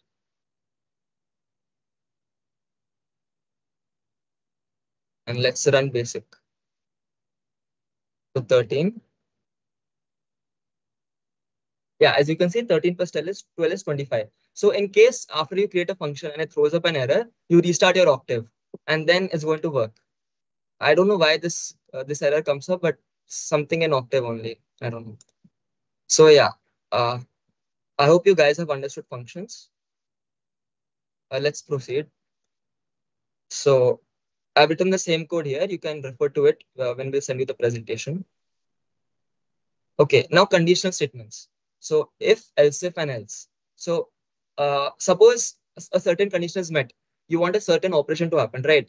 Like it can be to display a message to the user or something like that. So if a certain condition is met, you want something to happen. Or if some other condition is met, you want something else to happen. And if no condition is met, you'll either leave the program like that or you want like something else, like some other thing to happen, right? So for example, a simple example is uh, divisibility test of two. Basically, if a number is even, the program will check if it's uh, if it leaves a remainder of zero on division by two, and it will print that your number is even. And if the number is odd, like that, that you will use an else statement for that. So for all other cases, it will print your number is odd, right? So let's see uh, an example on Octave. Let's go to our main file and uh, okay, and uh, let's create a program for eligibility to vote. Okay, so the so it depends on the person's age, right? So let my user give his age. So age is supposed to input. Enter your age. Yeah. And uh, state my uh, if statement. So if age is greater than 18, it will uh, display you can vote. Okay. Now there's one more thing called else if, and uh, it's basically if some other condition is met, it will display something else, right? So else if age is equals to is equals to 18. You write 2 is equals to because it's checking if it's true. Okay, so that's why you use 2 is equals to is. So this it's your first time voting. Okay. And uh, else for all other cases. And the all other cases here is basically if you're under the age of 18. So else is you should grow older. Okay, and we'll end this. Uh, save this file. Just check our code once. Let's uh, run this. So enter my age. Suppose I'm 19 years old. It says you can vote. And uh, I'll run it again. And if I'm 18, it should give output. It's your first time voting. And if I am two years of age, it should say you should grow older. Yeah, fine. So yes, uh, whatever I've done is also written here. You guys can refer to it after the session. And uh, with this, we are completed. We have completed the basics of Octave, and you uh, the attendance forms have been circulated, I guess, or will be circulated uh, on Teams. So you guys can quickly fill in your attendance. And now I'll be uh, taking your doubts. Which code should I show? Please go slow. Okay, fine. I'll keep that in mind.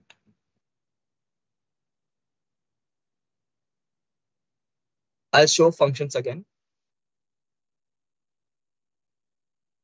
So this is how this is how you can create a function. So for creating a function, this is the syntax. Function ret, ret is return. Return what should return? It should return the whatever the function is returning, right? So ret is equals to the function name and the two inputs it's being given. So a comma b, and then what the function is doing. It's adding two numbers, right? So ret is equals to a plus b, and then we'll end my function.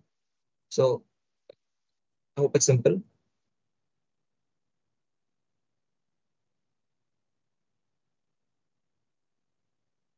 Running a file is hard. I'm always getting only basics in my output.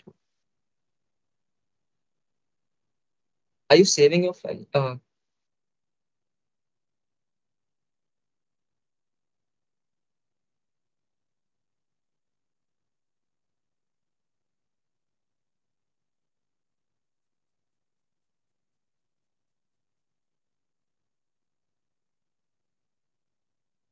so completed soon.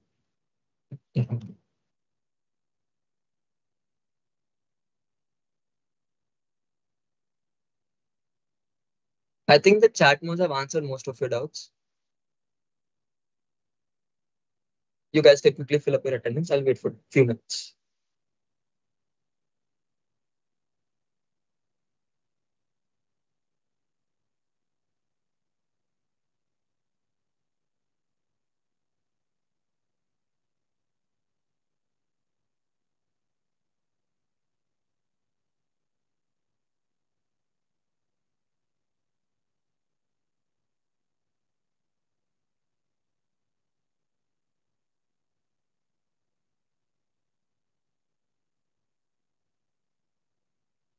No, the meet is not over. Uh, the main part is still left.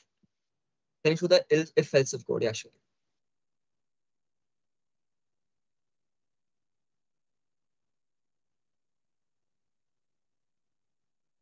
Are the outputs.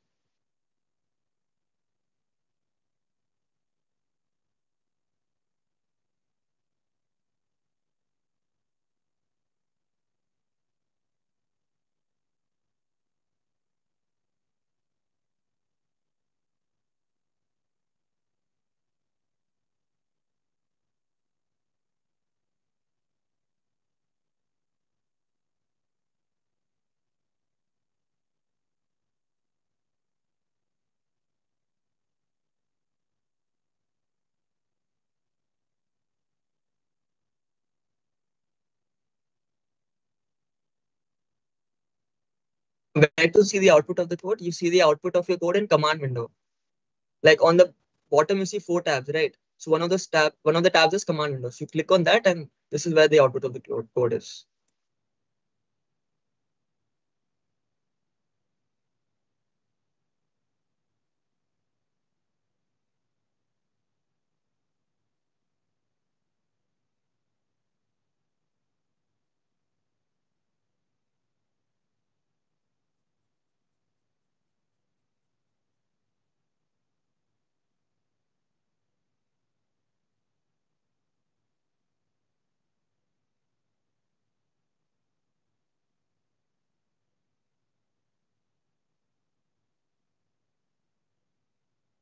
How to save the file as an Octave file. It keeps getting saved as a document file. Where are you writing your code? Uh, are you writing it in the text editor of the Octave?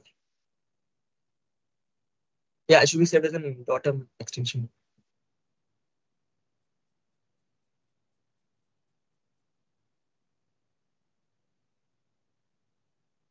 Let me show. Uh, yeah, don't uh, so are you saving the file with a .m extension? Once check that. I'll show the function syntax.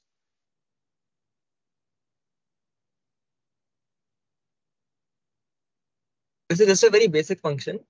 Uh, I'm just covering up basics for now so that we can cover up as much stuff as possible.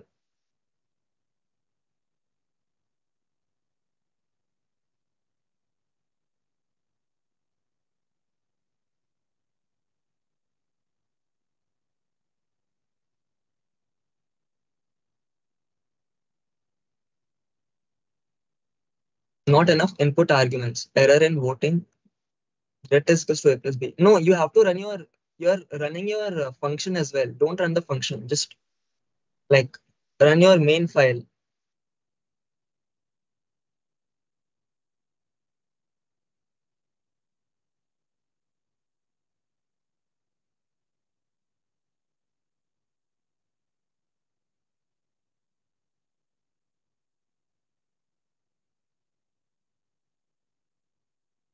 So you have to right click on your uh, file name of the main program and then press run.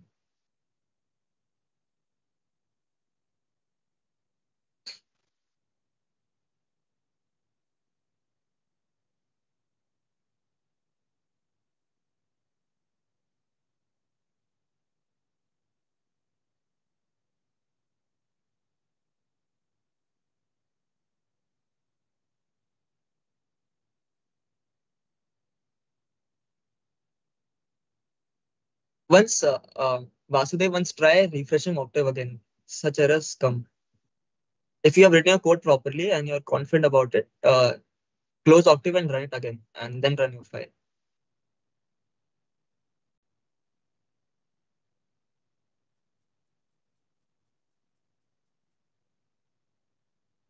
Okay, so let's continue. So we have completed the basics of Octave, and now we can start getting a code for the Euler's method, right? So let's have a recap question first. If you guys have paid just a little bit of attention also in the previous part, you guys should be able to answer this question.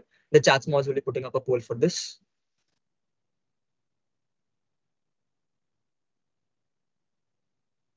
So the question is to solve the Euler's method, what should be given to us? Option A, initial conditions. Option B, the step size, h. Option C, the derivative function. Or option D, all of the above.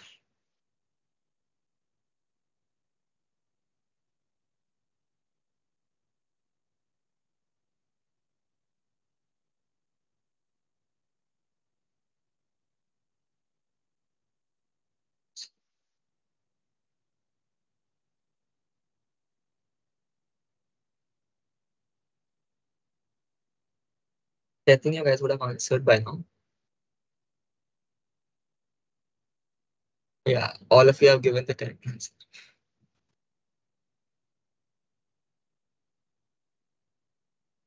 Yeah, fine.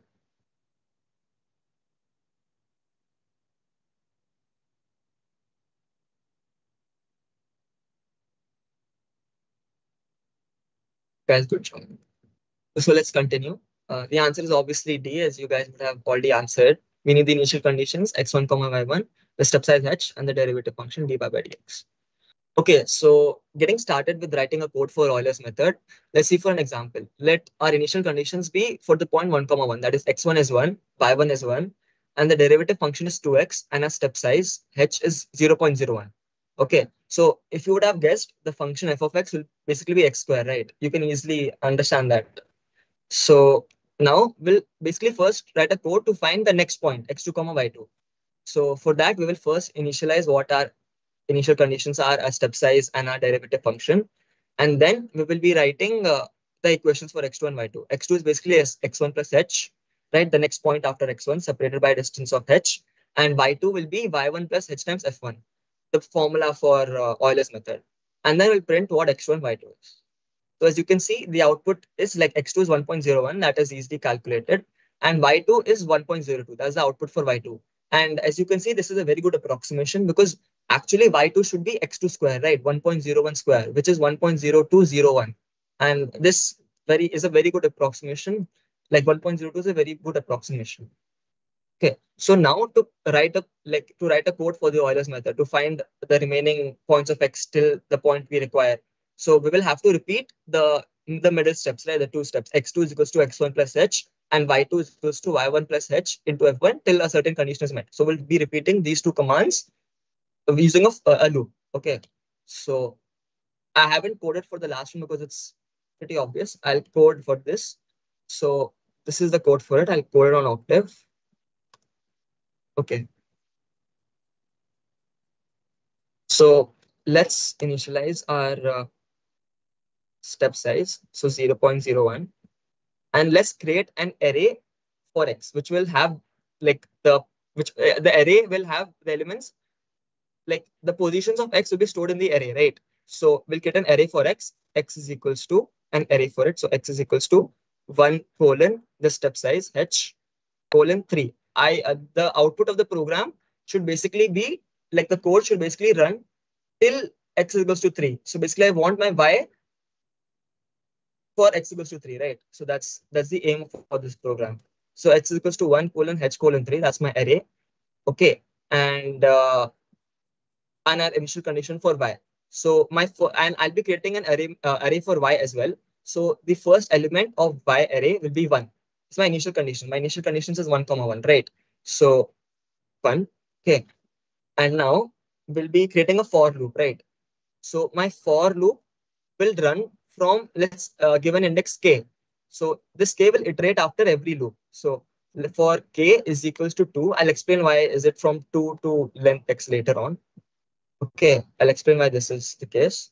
And uh, see, I haven't uh, defined what my function is. My function is uh, my function for derivative is f of x is 2x, right? f dash x is 2x, right? So because that varies with every point, right? So I'll write it inside my for loop. So for f, uh, I'm like my derivative, I'm calling it f, and I'm defining it using an array. So for f, and for the k minus one element of f is basically 2 times x, the uh, k minus 1 element of x, right? So semicolon.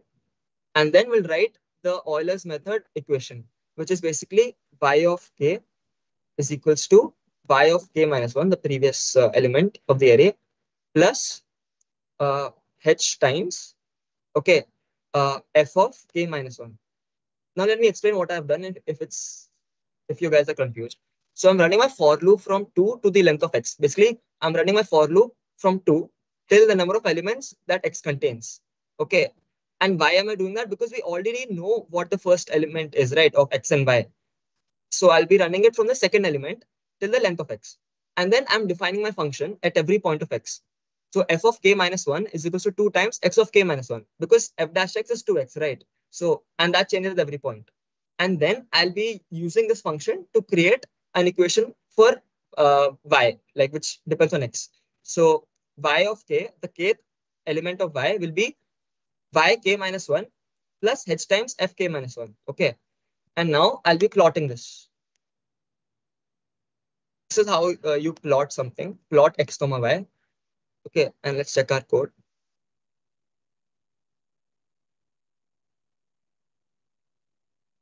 It should run fine. Yeah, as you can see, it generated a plot. Uh, I close that one sec. As you can see, this is this is what the plot comes out to be. Now, it's not very clear that if it actually like represent y is goes to x square, right? So let me print the array elements of x for some random indexes, x and y for some random indexes. So let me just see for uh, the 21st element of x, like what the value is, and the 21st element of y. Okay.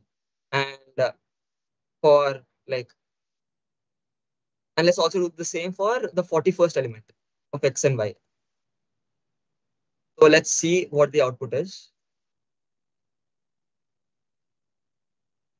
Yeah, so as you can see for uh, x21, it says 1.2 and y21 it says 1.38, which is a very good approximation to 1.2 square, 1.44. And if you want, and if you want an even better approximation, you can reduce your step size like to like 1. Point, I mean 0 0.005 or something like that. Here we have used 0 0.01, right? So you could reduce your step size. Step size. And x41 is 1.4 and y41 is 1.956, which is a good approximation to 1.96. Yeah, and that's it. That's how you code for the Euler's method. You can refer to this. And this is a code template for the Euler's method. Here you can just replace your values of h, your initial value of x and your final value of x. So x is equal to dash colon h colon dash and the initial element of y. And uh, then you can create a for loop for this is obviously standard. K is goes to 2 till length x. And you can define what your derivative function is. f k minus 1 is goes to what. And then you can get your uh, array elements for y. And then you can plot it. Okay. So is there any doubt till now?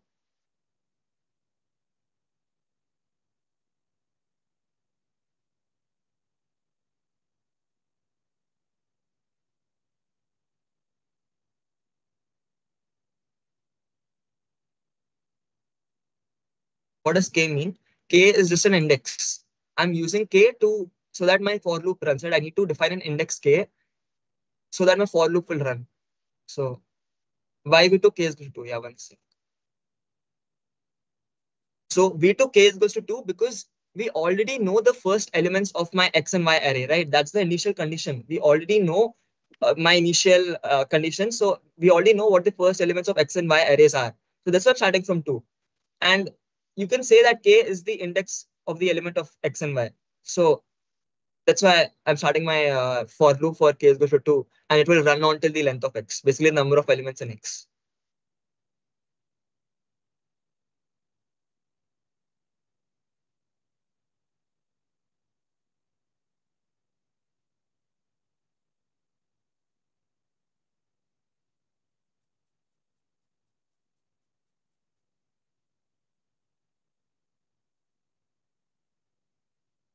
Why should we give k minus 1 instead of given k is to 1? Uh, why should we give k minus 1 instead of k is to 1? Uh, where?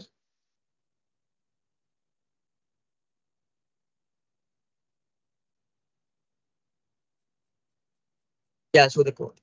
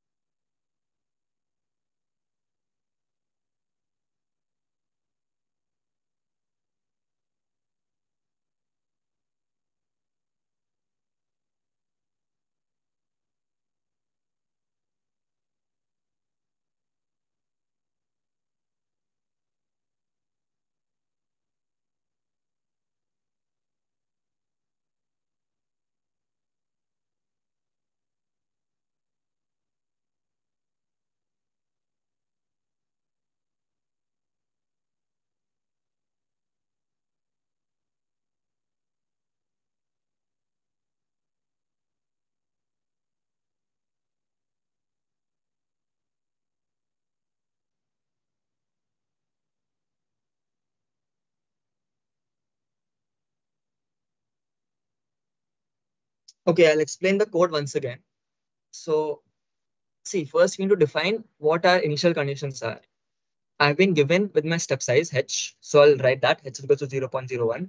And I'll be defining my array x, which will have all the positions of x. So my elements of the array x will be 1, 1 plus h, 1 plus 2h, and so on till 3. So I am creating an array for x. So this is how you create an array. X is equals to, I haven't written boxes, but that's fine. Like either you can create box or Octave will uh, understand if you do not write boxes that you're defining an array. So X is equals to one colon H colon three. And to store the values of X, basically, uh, like I want to store the values of Y corresponding to X, right? X has many elements in its array. So I want to store basically Y equals to X square. Basically, I'm doing an approximation for Y equals to X square. So I'll be storing the values of Y for each X in its array, in Y array and the first element of y is 1 because that's my initial condition. 1 comma 1 is my initial condition. Okay, so we have been given with our initial condition. We have specified them. We have initialized them. Okay, and now we'll be creating a for loop to find the remaining values of y. We already know already know the values of x, right? 1, 1 plus h, 1 plus 2h, and so on to 3. Now we need to find the corresponding values of y. Okay, so we'll be, run, we'll be running a for loop for that. And my for loop will run from 2, the index 2, till the number of elements that are contained in my array x. And for that, I'm using an index k. I'm defining a local variable so that I can, uh, like, I'm defining so that I can get the remaining elements of my array y. And since at each x, my derivative is changing, I'll be defining my function, the derivative function inside the for loop. So it's basically f of k minus 1 is equal to 2 times x of k minus 1, right? Because for getting the kth element of y, uh, x values at k minus 1. So we'll be, and then after we write the derivative function, we'll be writing the equation for the Euler's method, which is yk is equals to yk minus 1 plus f k minus 1 into h. Okay, and then I'll be ending this loop. And I'll be plotting x comma y. And I guess now it's, now you guys must have understood it.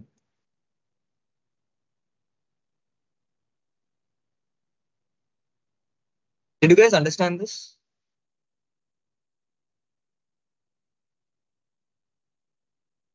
Yeah.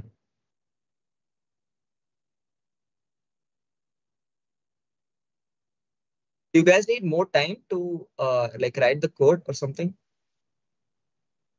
Why we took x to 3? Okay, you can take x to whatever you want. I just took it to 3 to plot the data.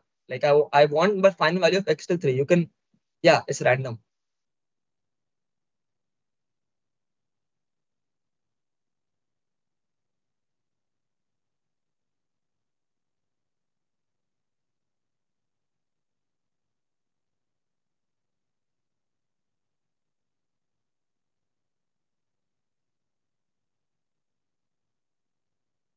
Okay, then I'll, I'll guess I'll continue. So yeah, this is the code template for the Euler's method. And now let's see uh, an application with which we can solve the Euler's method, which is the law of radioactive decay, dn by dt is equal to minus kn.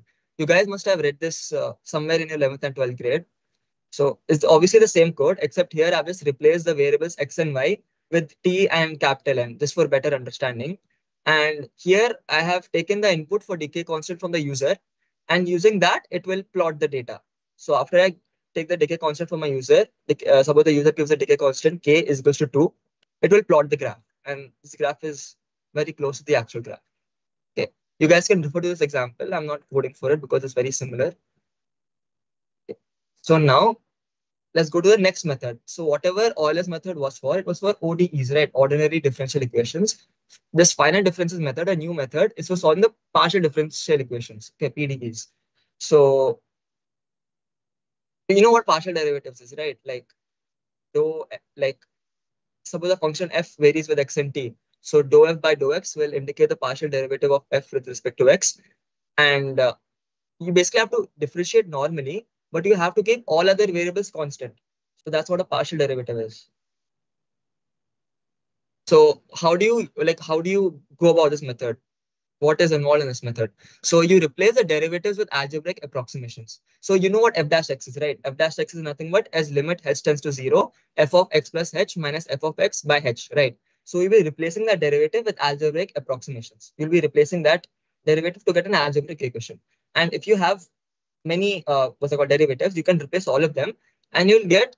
And after solving the algebraic equations, you'll get an approximate solution. All right.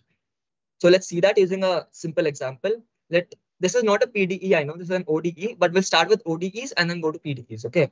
So let f dash x be f of x and f of 0 be 1. And it's obvious that the solution is e to the power x, right? Now we'll use our finite differences method. So we know that we have to replace f dash x with f of x plus h minus f of x by h. And we'll assume that h is h tends to 0. We'll not uh, specify that. We're already assuming it. And uh, now we'll replace this f dash x with the, the algebraic expression and uh, we'll get a new expression after simplifying the terms. We'll get uh, f of x plus h is equals to 1 plus h times f of x. And our initial condition is already given to us. f of 0 is 1. And in this equation above, if we replace x with 0, you get f of h, which is 1 plus h. And then after you keep on replacing terms like that, you'll get f of 2h is equals to 1 plus h whole square and so on. And basically, if you haven't already understood, you'll get f of kh is equals to 1 plus h whole to the power k right? So, but notice one thing, f of x is our actual solution, but all this f of 0, f of h, and f of 2h just approximate the actual solution, right?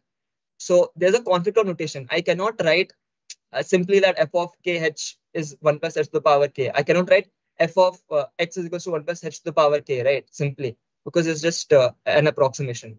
So for that, we'll define a sequence fk. Okay, this sequence fk is basically an approximation for f of x Okay, where x is kh.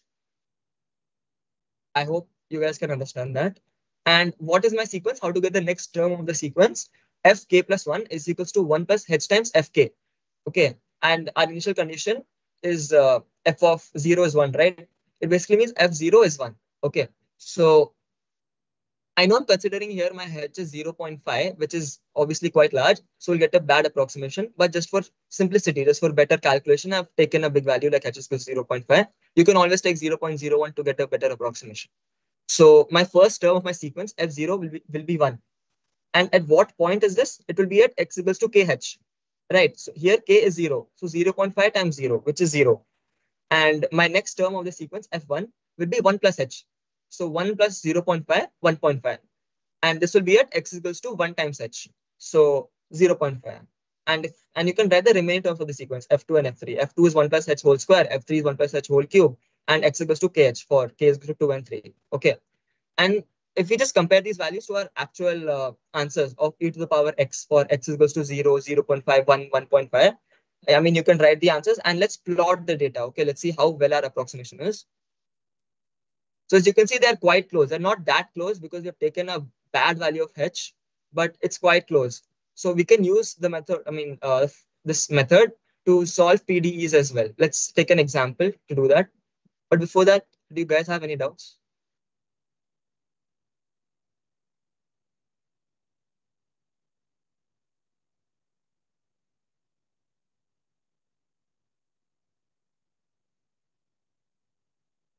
Let me continue.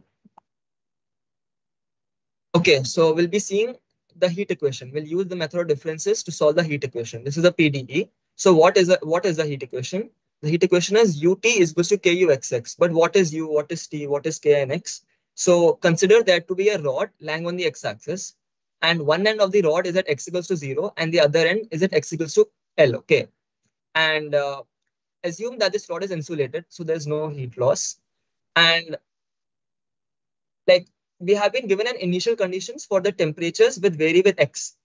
So at t is equal to zero, we have a function of t with respect to x at the initial time at t is equal to zero.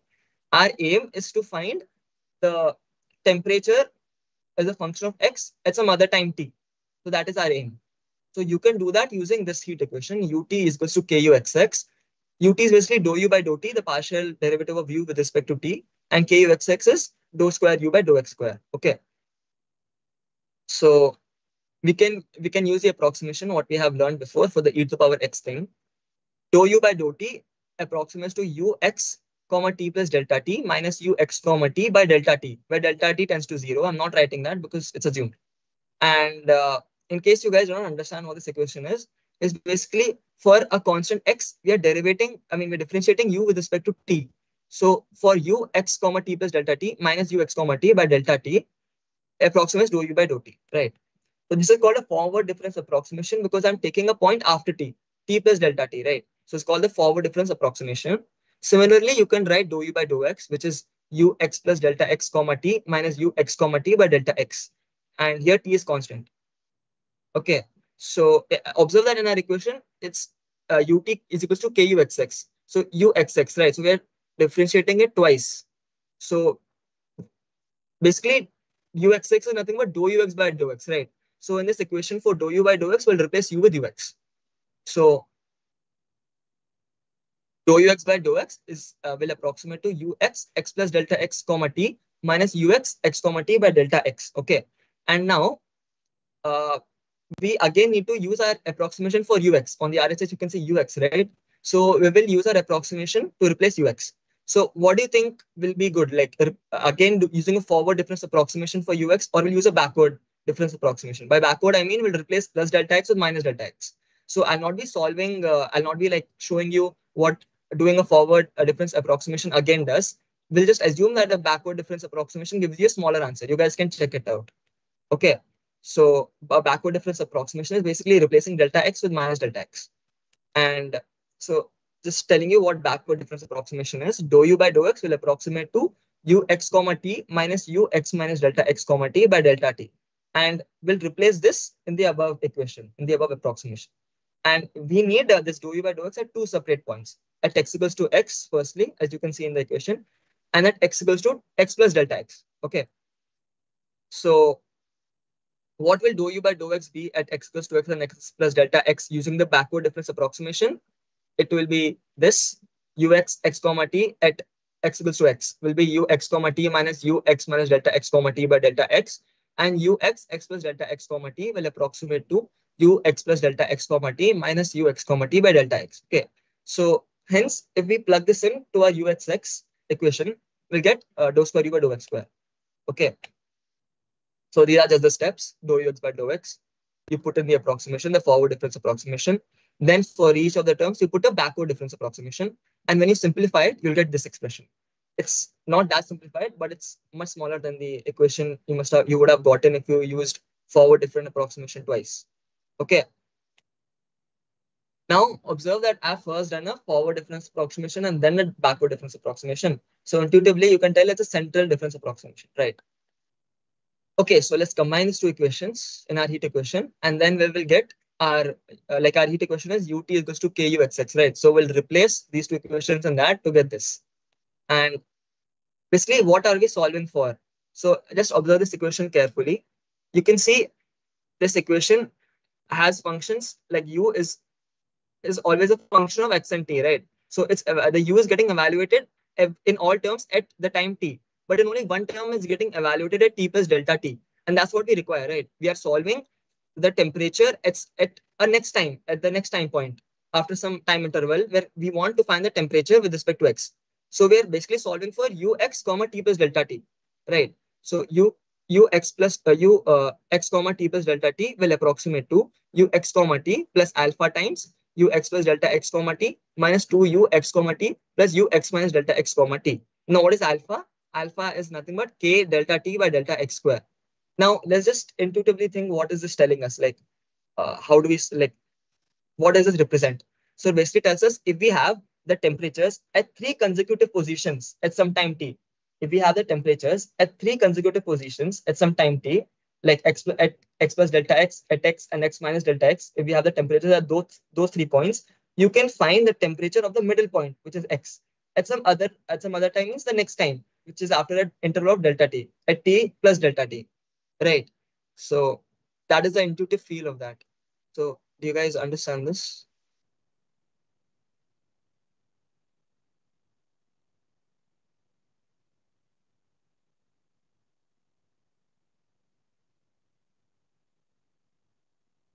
Yes. Okay cool. Then let's continue.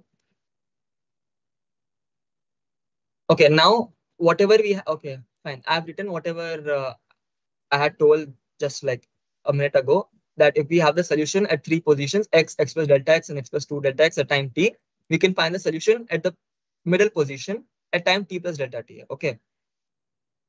So this is the equation again. And I had uh, assume that the rod lies between 0 and capital L. But for the sake of having a proper proof, we will write, uh, we will have x from A to B. Basically, the rod lies between A and B for time t is greater than equals to 0. Okay. And what do we seek? We seek approximate values for u x comma t at some position x and some position uh, at and some time t, right? So we will first divide the interval a comma b. We'll first divide the x-axis where the rod is lying into n subintervals of with delta x equals to b minus a by n. And the endpoints of the subintervals will be obviously be given by xi is equals to a plus i delta x, right? So x0 will be a because i is 0 and x1 will be a plus delta x, x2 will be a plus 2 delta x, x3 will be a plus 3 delta x, and so on. And xn will be a plus n delta x, and n delta x is nothing but b minus a. So x1, xn will be b. Okay, so hope you guys understood that as well. And similarly, for delta t, we can write tj is equal to j delta t, where j is equal to 0, 1, 2, and so on. Okay, so i is basically the index of position, and j is basically the index for time. Okay, so let's replace these because uh, similar, like remember in e to power x also we had done such a thing. So we'll do the same thing again here, and we'll get a new equation. Okay, we wanted an approximate solution to u x comma t or u i comma j, where i is the index for position and j is the uh, index for time. Okay, so if we replace all that, we will get this approximation. u i comma j plus 1 will uh, approximate to u i comma j plus alpha times u i plus 1 comma j minus 2 uh, u i comma j plus u i minus 1 comma j. And if you guys don't understand like what are we doing in this, we can uh, understand this by a stencil. Okay. So in this stencil, I is the x-axis and j is the y-axis. And as I've told you before, if in a row we have we we know three consecutive the values of three consecutive uh, positions, then you can find the value of the middle position at the at uh, the uh, succeeding row in, in the above row, right? So you can find ui comma j plus 1 okay and then if we have our initial conditions if we have the bottom row most the u values of the bottom most row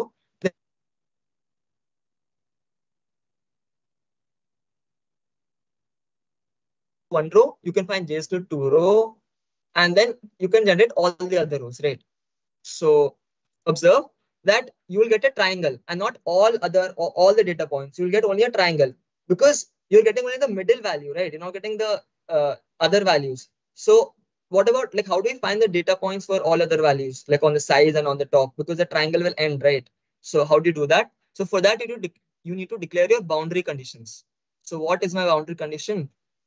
I'll assume that my boundary conditions is that the temperature is always zero at the endpoints. For any time t, I'm assuming that my temperature is always zero at the endpoints. So if you write that using indexes, you'll get u uh, u 0 comma j is equal to 0 for all j and u capital N comma j is equal to 0 for all j basically yeah so um, you get you get all the data points in your stencil and yeah that's it that's basically it now you, you need to just code for it so first there'll be a lot of values to initialize okay and after you initialize all these values you have to write your uh, equations for x and your initial value and then you have to write your code for the partial uh, for the PDE. So let's open Octave and do that. But before that, are you guys clear with the method of, I mean, are guys clear with heat equation?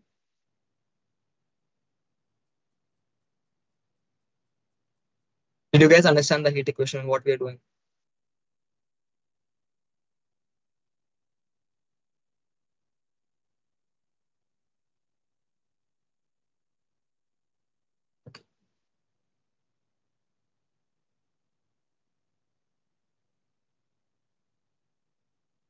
So yeah, I'll be we'll be sharing the slides to you. You can go again. I know it's a little hard telling orally, so uh, you guys can see that.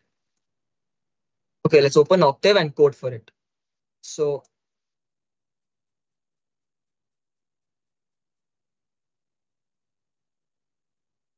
okay, so first we need to define the length of the rod. Capital L is equals to one. Let's have uh, capital L to be one. Okay, and let my uh, I'm running my code till t is equal to 0.1 seconds. Okay. So let's declare my variable t, which is 0.1. Okay. And then uh, I will declare my heat constant as well. So let my heat constant be 1, taking very simple values. So L, T, K, and what else? Yeah, we had divided our x-axis into subintervals, right? So let uh, n be 10, we're dividing into 10 subintervals, and let be let m be 50. We are having 50 time steps. Okay, so if you guys don't understand, we'll be calculating the temperatures for 50 uh, values of time, right? For 50, after 50 intervals of time, where we'll be noting down our temperature. Okay. And then we'll, uh, we know what our dx is. Our dx is basically capital L by m, uh, by m. Okay. And then our dt will be capital T by m. dx is basically the, I mean, the length of each subinterval and dt is basically the length of the time interval. So yeah, L is equals to 1, T is equals to 0 0.1, K is equals to 1, N is equals to 10, M is 50, dx is L by N, and dt is T by M. So we have given our uh, initial conditions and everything. Now we'll create an array, like how we had created an array for position like X in Euler's method. We'll do the same thing here. We'll create an array for X. Okay. So for I, let every index of my array be denoted by I. So I this for loop will run from 1 till n plus 1. I'll explain why 1 to, to n plus 1. And then uh, each element of my array x will be xi is equals to i minus 1 times dx. I'll explain why this is true. And then I'll end. Okay, I'll end my for loop. So what what is what is this? Like what are we doing? So for the first element of x, the position is obviously zero, right? And for my second, like my second element of x, x2, x2 will be dx. And my third element, x3 will be 2dx. So my first element will be zero, second element will, will be dx, third will be 2dx, fourth will be 3dx, and so on. And we are running our total n plus 1 because x n plus 1 will be n, n times dx, right? So we need to run, we need to define what the last element of our array is. So that is another word n dx. And n dx is basically L. So our rod is lying between 0 and L, and hence we're doing this. Okay, and now, uh, now we have gotten a position array. Now we'll define our initial conditions. So for i is equals to, again, 1 is to n plus 1, the same logic as before. We will have our uh, initial condition array. I forgot to add a semicolon here. Semicolon is important. So let's call our, uh, let's have our initial condition the array name is u naught. Okay. So u naught i, every element of the array u naught will be like suppose our initial condition is sine pi x. Okay. So sine pi, pi is already defined by octave. You, you do not have to define what pi is. So sine pi times x. Okay. And sine, it will be sine pi x where x is the array elements, right? The array elements of x. So sine pi x of i, right? And then semicolon, and we'll end this for loop as well. Now we'll be coding our PDE. So uh, we want the values of temperature for 50 uh, intervals for 50 intervals of time, right? After 50 intervals of time, we want what the values of temperature are with respect to position x. So for j is equals to 2, uh, I mean 1 till m. m is basically 50. So for j is equals to 1 till m, we're getting a for loop for that. This for loop will basically increase time, basically go to the next row. But what about increasing the position? We need to increase the position as well, right? For finding the values of temperature with respect to x. So for j is equals to 1 to m, we'll write another for loop. For i is equals to 2 to n. Okay, now why am I doing 2 to n here and not 1 to n plus 1 as before? I'll explain that. It'll be clear when I write the code. And now I'll be writing the equation, the PDE, the simple, the approximated form of PDE, which we had derived. So I've, I've got it written here. I don't remember what I got it written, so I'll write it. So yeah, so my next row, uh, let's give an uh, array, let's give an array for that. It will be U1. Okay, I, the, in, uh, the uh, element I of U1, the equation for that, U1 I is equals to U naught I. I'm basically writing the equation what we had derived u1i plus alpha times u naught i plus 1 minus 2 u naught i and uh, plus u naught i minus 1. Yeah. And then remember to close all the brackets or else it will throw up an error. So hmm, yeah. And now uh, will end both the uh, will end only one for loop. So we have gotten our uh, the function of temperature with respect to x at the next time, right? So we'll end the this for loop, and then what we have see we have u naught we have gotten u1 now how to get u2 u3 and u4 and so on? You cannot keep on defining u2 u3 u4 and so on right? There's a shortcut for that. So you have you have you have already been given u naught. You have found u1 what you can do is you can make your u1 u naught so when your u1 becomes u naught basically j is equals to one row becomes u naught you can this for loop will run on for 50 time steps right so in the next for loop it will find out what u2 is so and then when you make this u2 your u naught your initial value it will find the next uh, values, uh, the, the next row values. Okay, so I hope you guys can understand that. But first, we should uh, remember about the boundary condition. We have to write that as well. So U1 uh, at the boundaries will be 0. Right. And uh, what? Yeah, and let's make our U1 U0 let's make our u1 row u0 so that the for loop continues. So u0 uh, is equals to u1.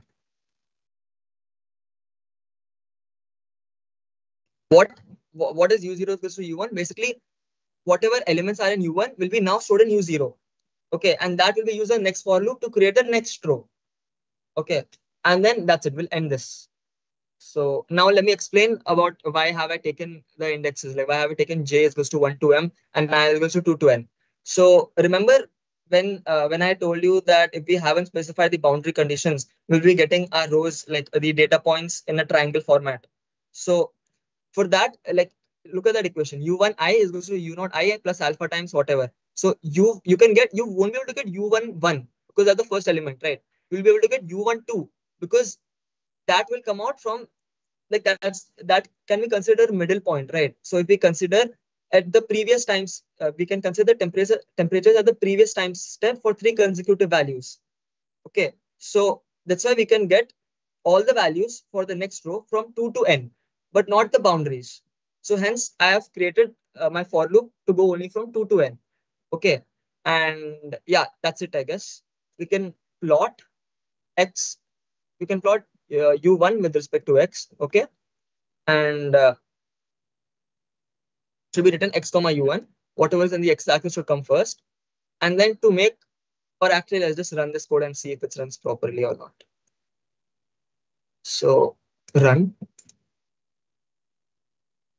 Okay, an error in the syntax. Yeah. So guys, always be careful.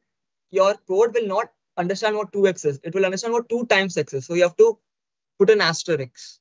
And then let's run it again.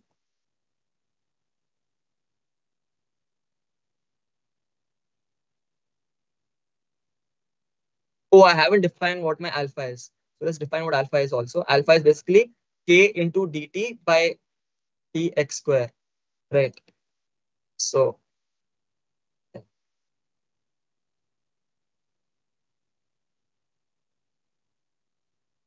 let's check out the plot, what it has generated. So this is the plot.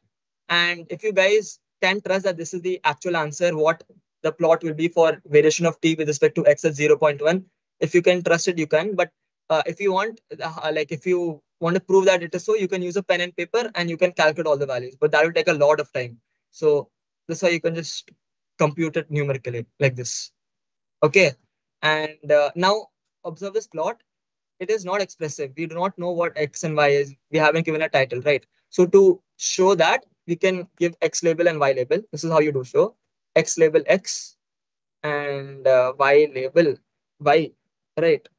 Y label, uh, Y label U1 or Y label temperature at time 0.1 seconds. And uh, let's give it, let's give it a title as well. Title T versus X at t is equal to 0.1 seconds. Okay, so and now let's run it. Control save and run. So as you can see now you you have got labels for the x-axis and y-axis and you've got a heading as well. You can change the sizes of that, but we won't be discussing that now. So you guys have any doubts till here?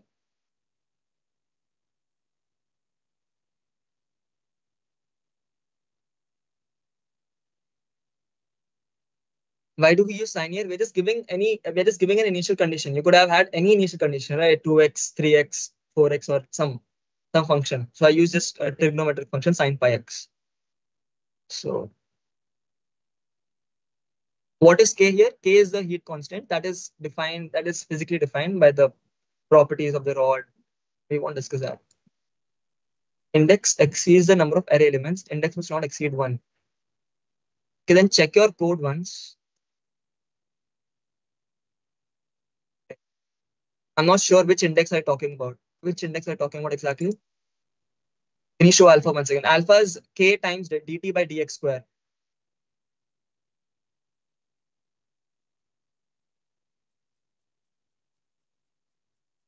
Alpha is k times dt by dx square.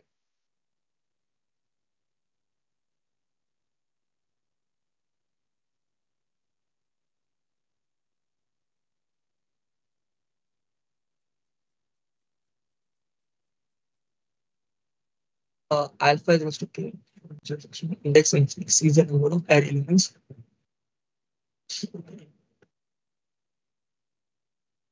Did you define what your uh, did you define what your position and uh, initial conditions are?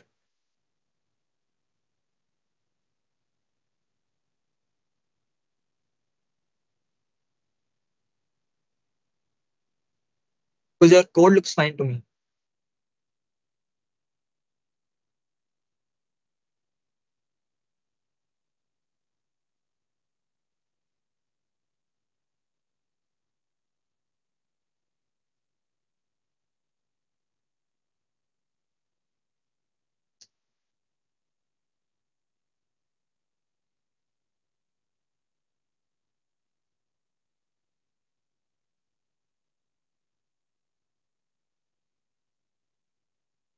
Yeah, I'm not sure uh, why it's throwing an error. And check your code again. Anyway, I'll be sending the code in the presentation. So just check, just check how you have defined your position array and the initial conditions.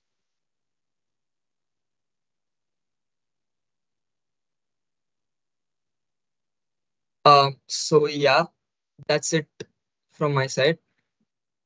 Uh, So yeah, thank you guys. Uh, there's one very interesting problem on the method differences in the problem set that you will get. It's a it's slightly involved, slightly more involved. But uh, if you guys have understood the method of differences properly, and if you guys just refer to the slides once again, I'm sure you will be able to answer it. It's a very interesting question. So thank you guys.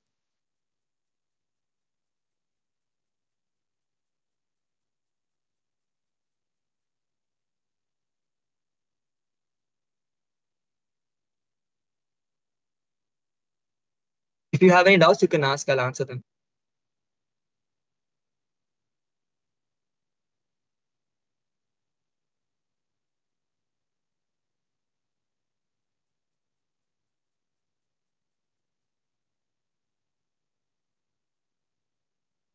Uh, you want to see the code? Uh, okay, I'll share it.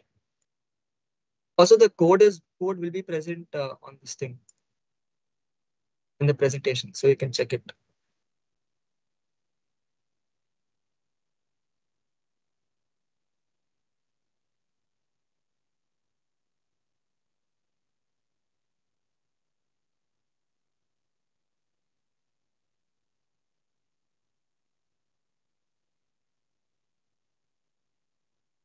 There are multiple pages of code.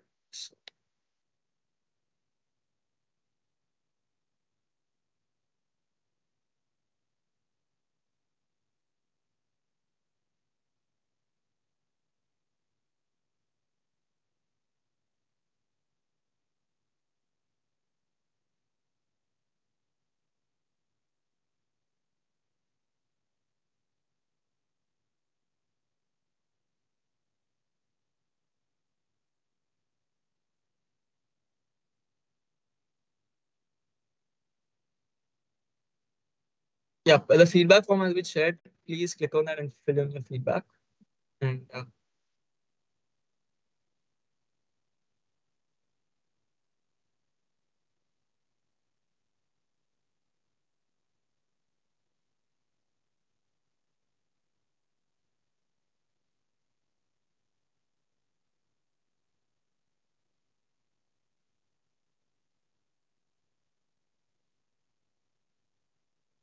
So guys, uh, we have our uh, YouTube channels and our LinkedIn page. It will be very good if you guys could follow that, and uh, we'll be we'll be regularly updating that those two social media accounts with interesting problems for you to solve, and uh, events such as this, so, so that you guys can participate. And we have our website as well. The links of the website, social media, LinkedIn will be shared in WhatsApp, so you guys can keep track of those as well. Thank you.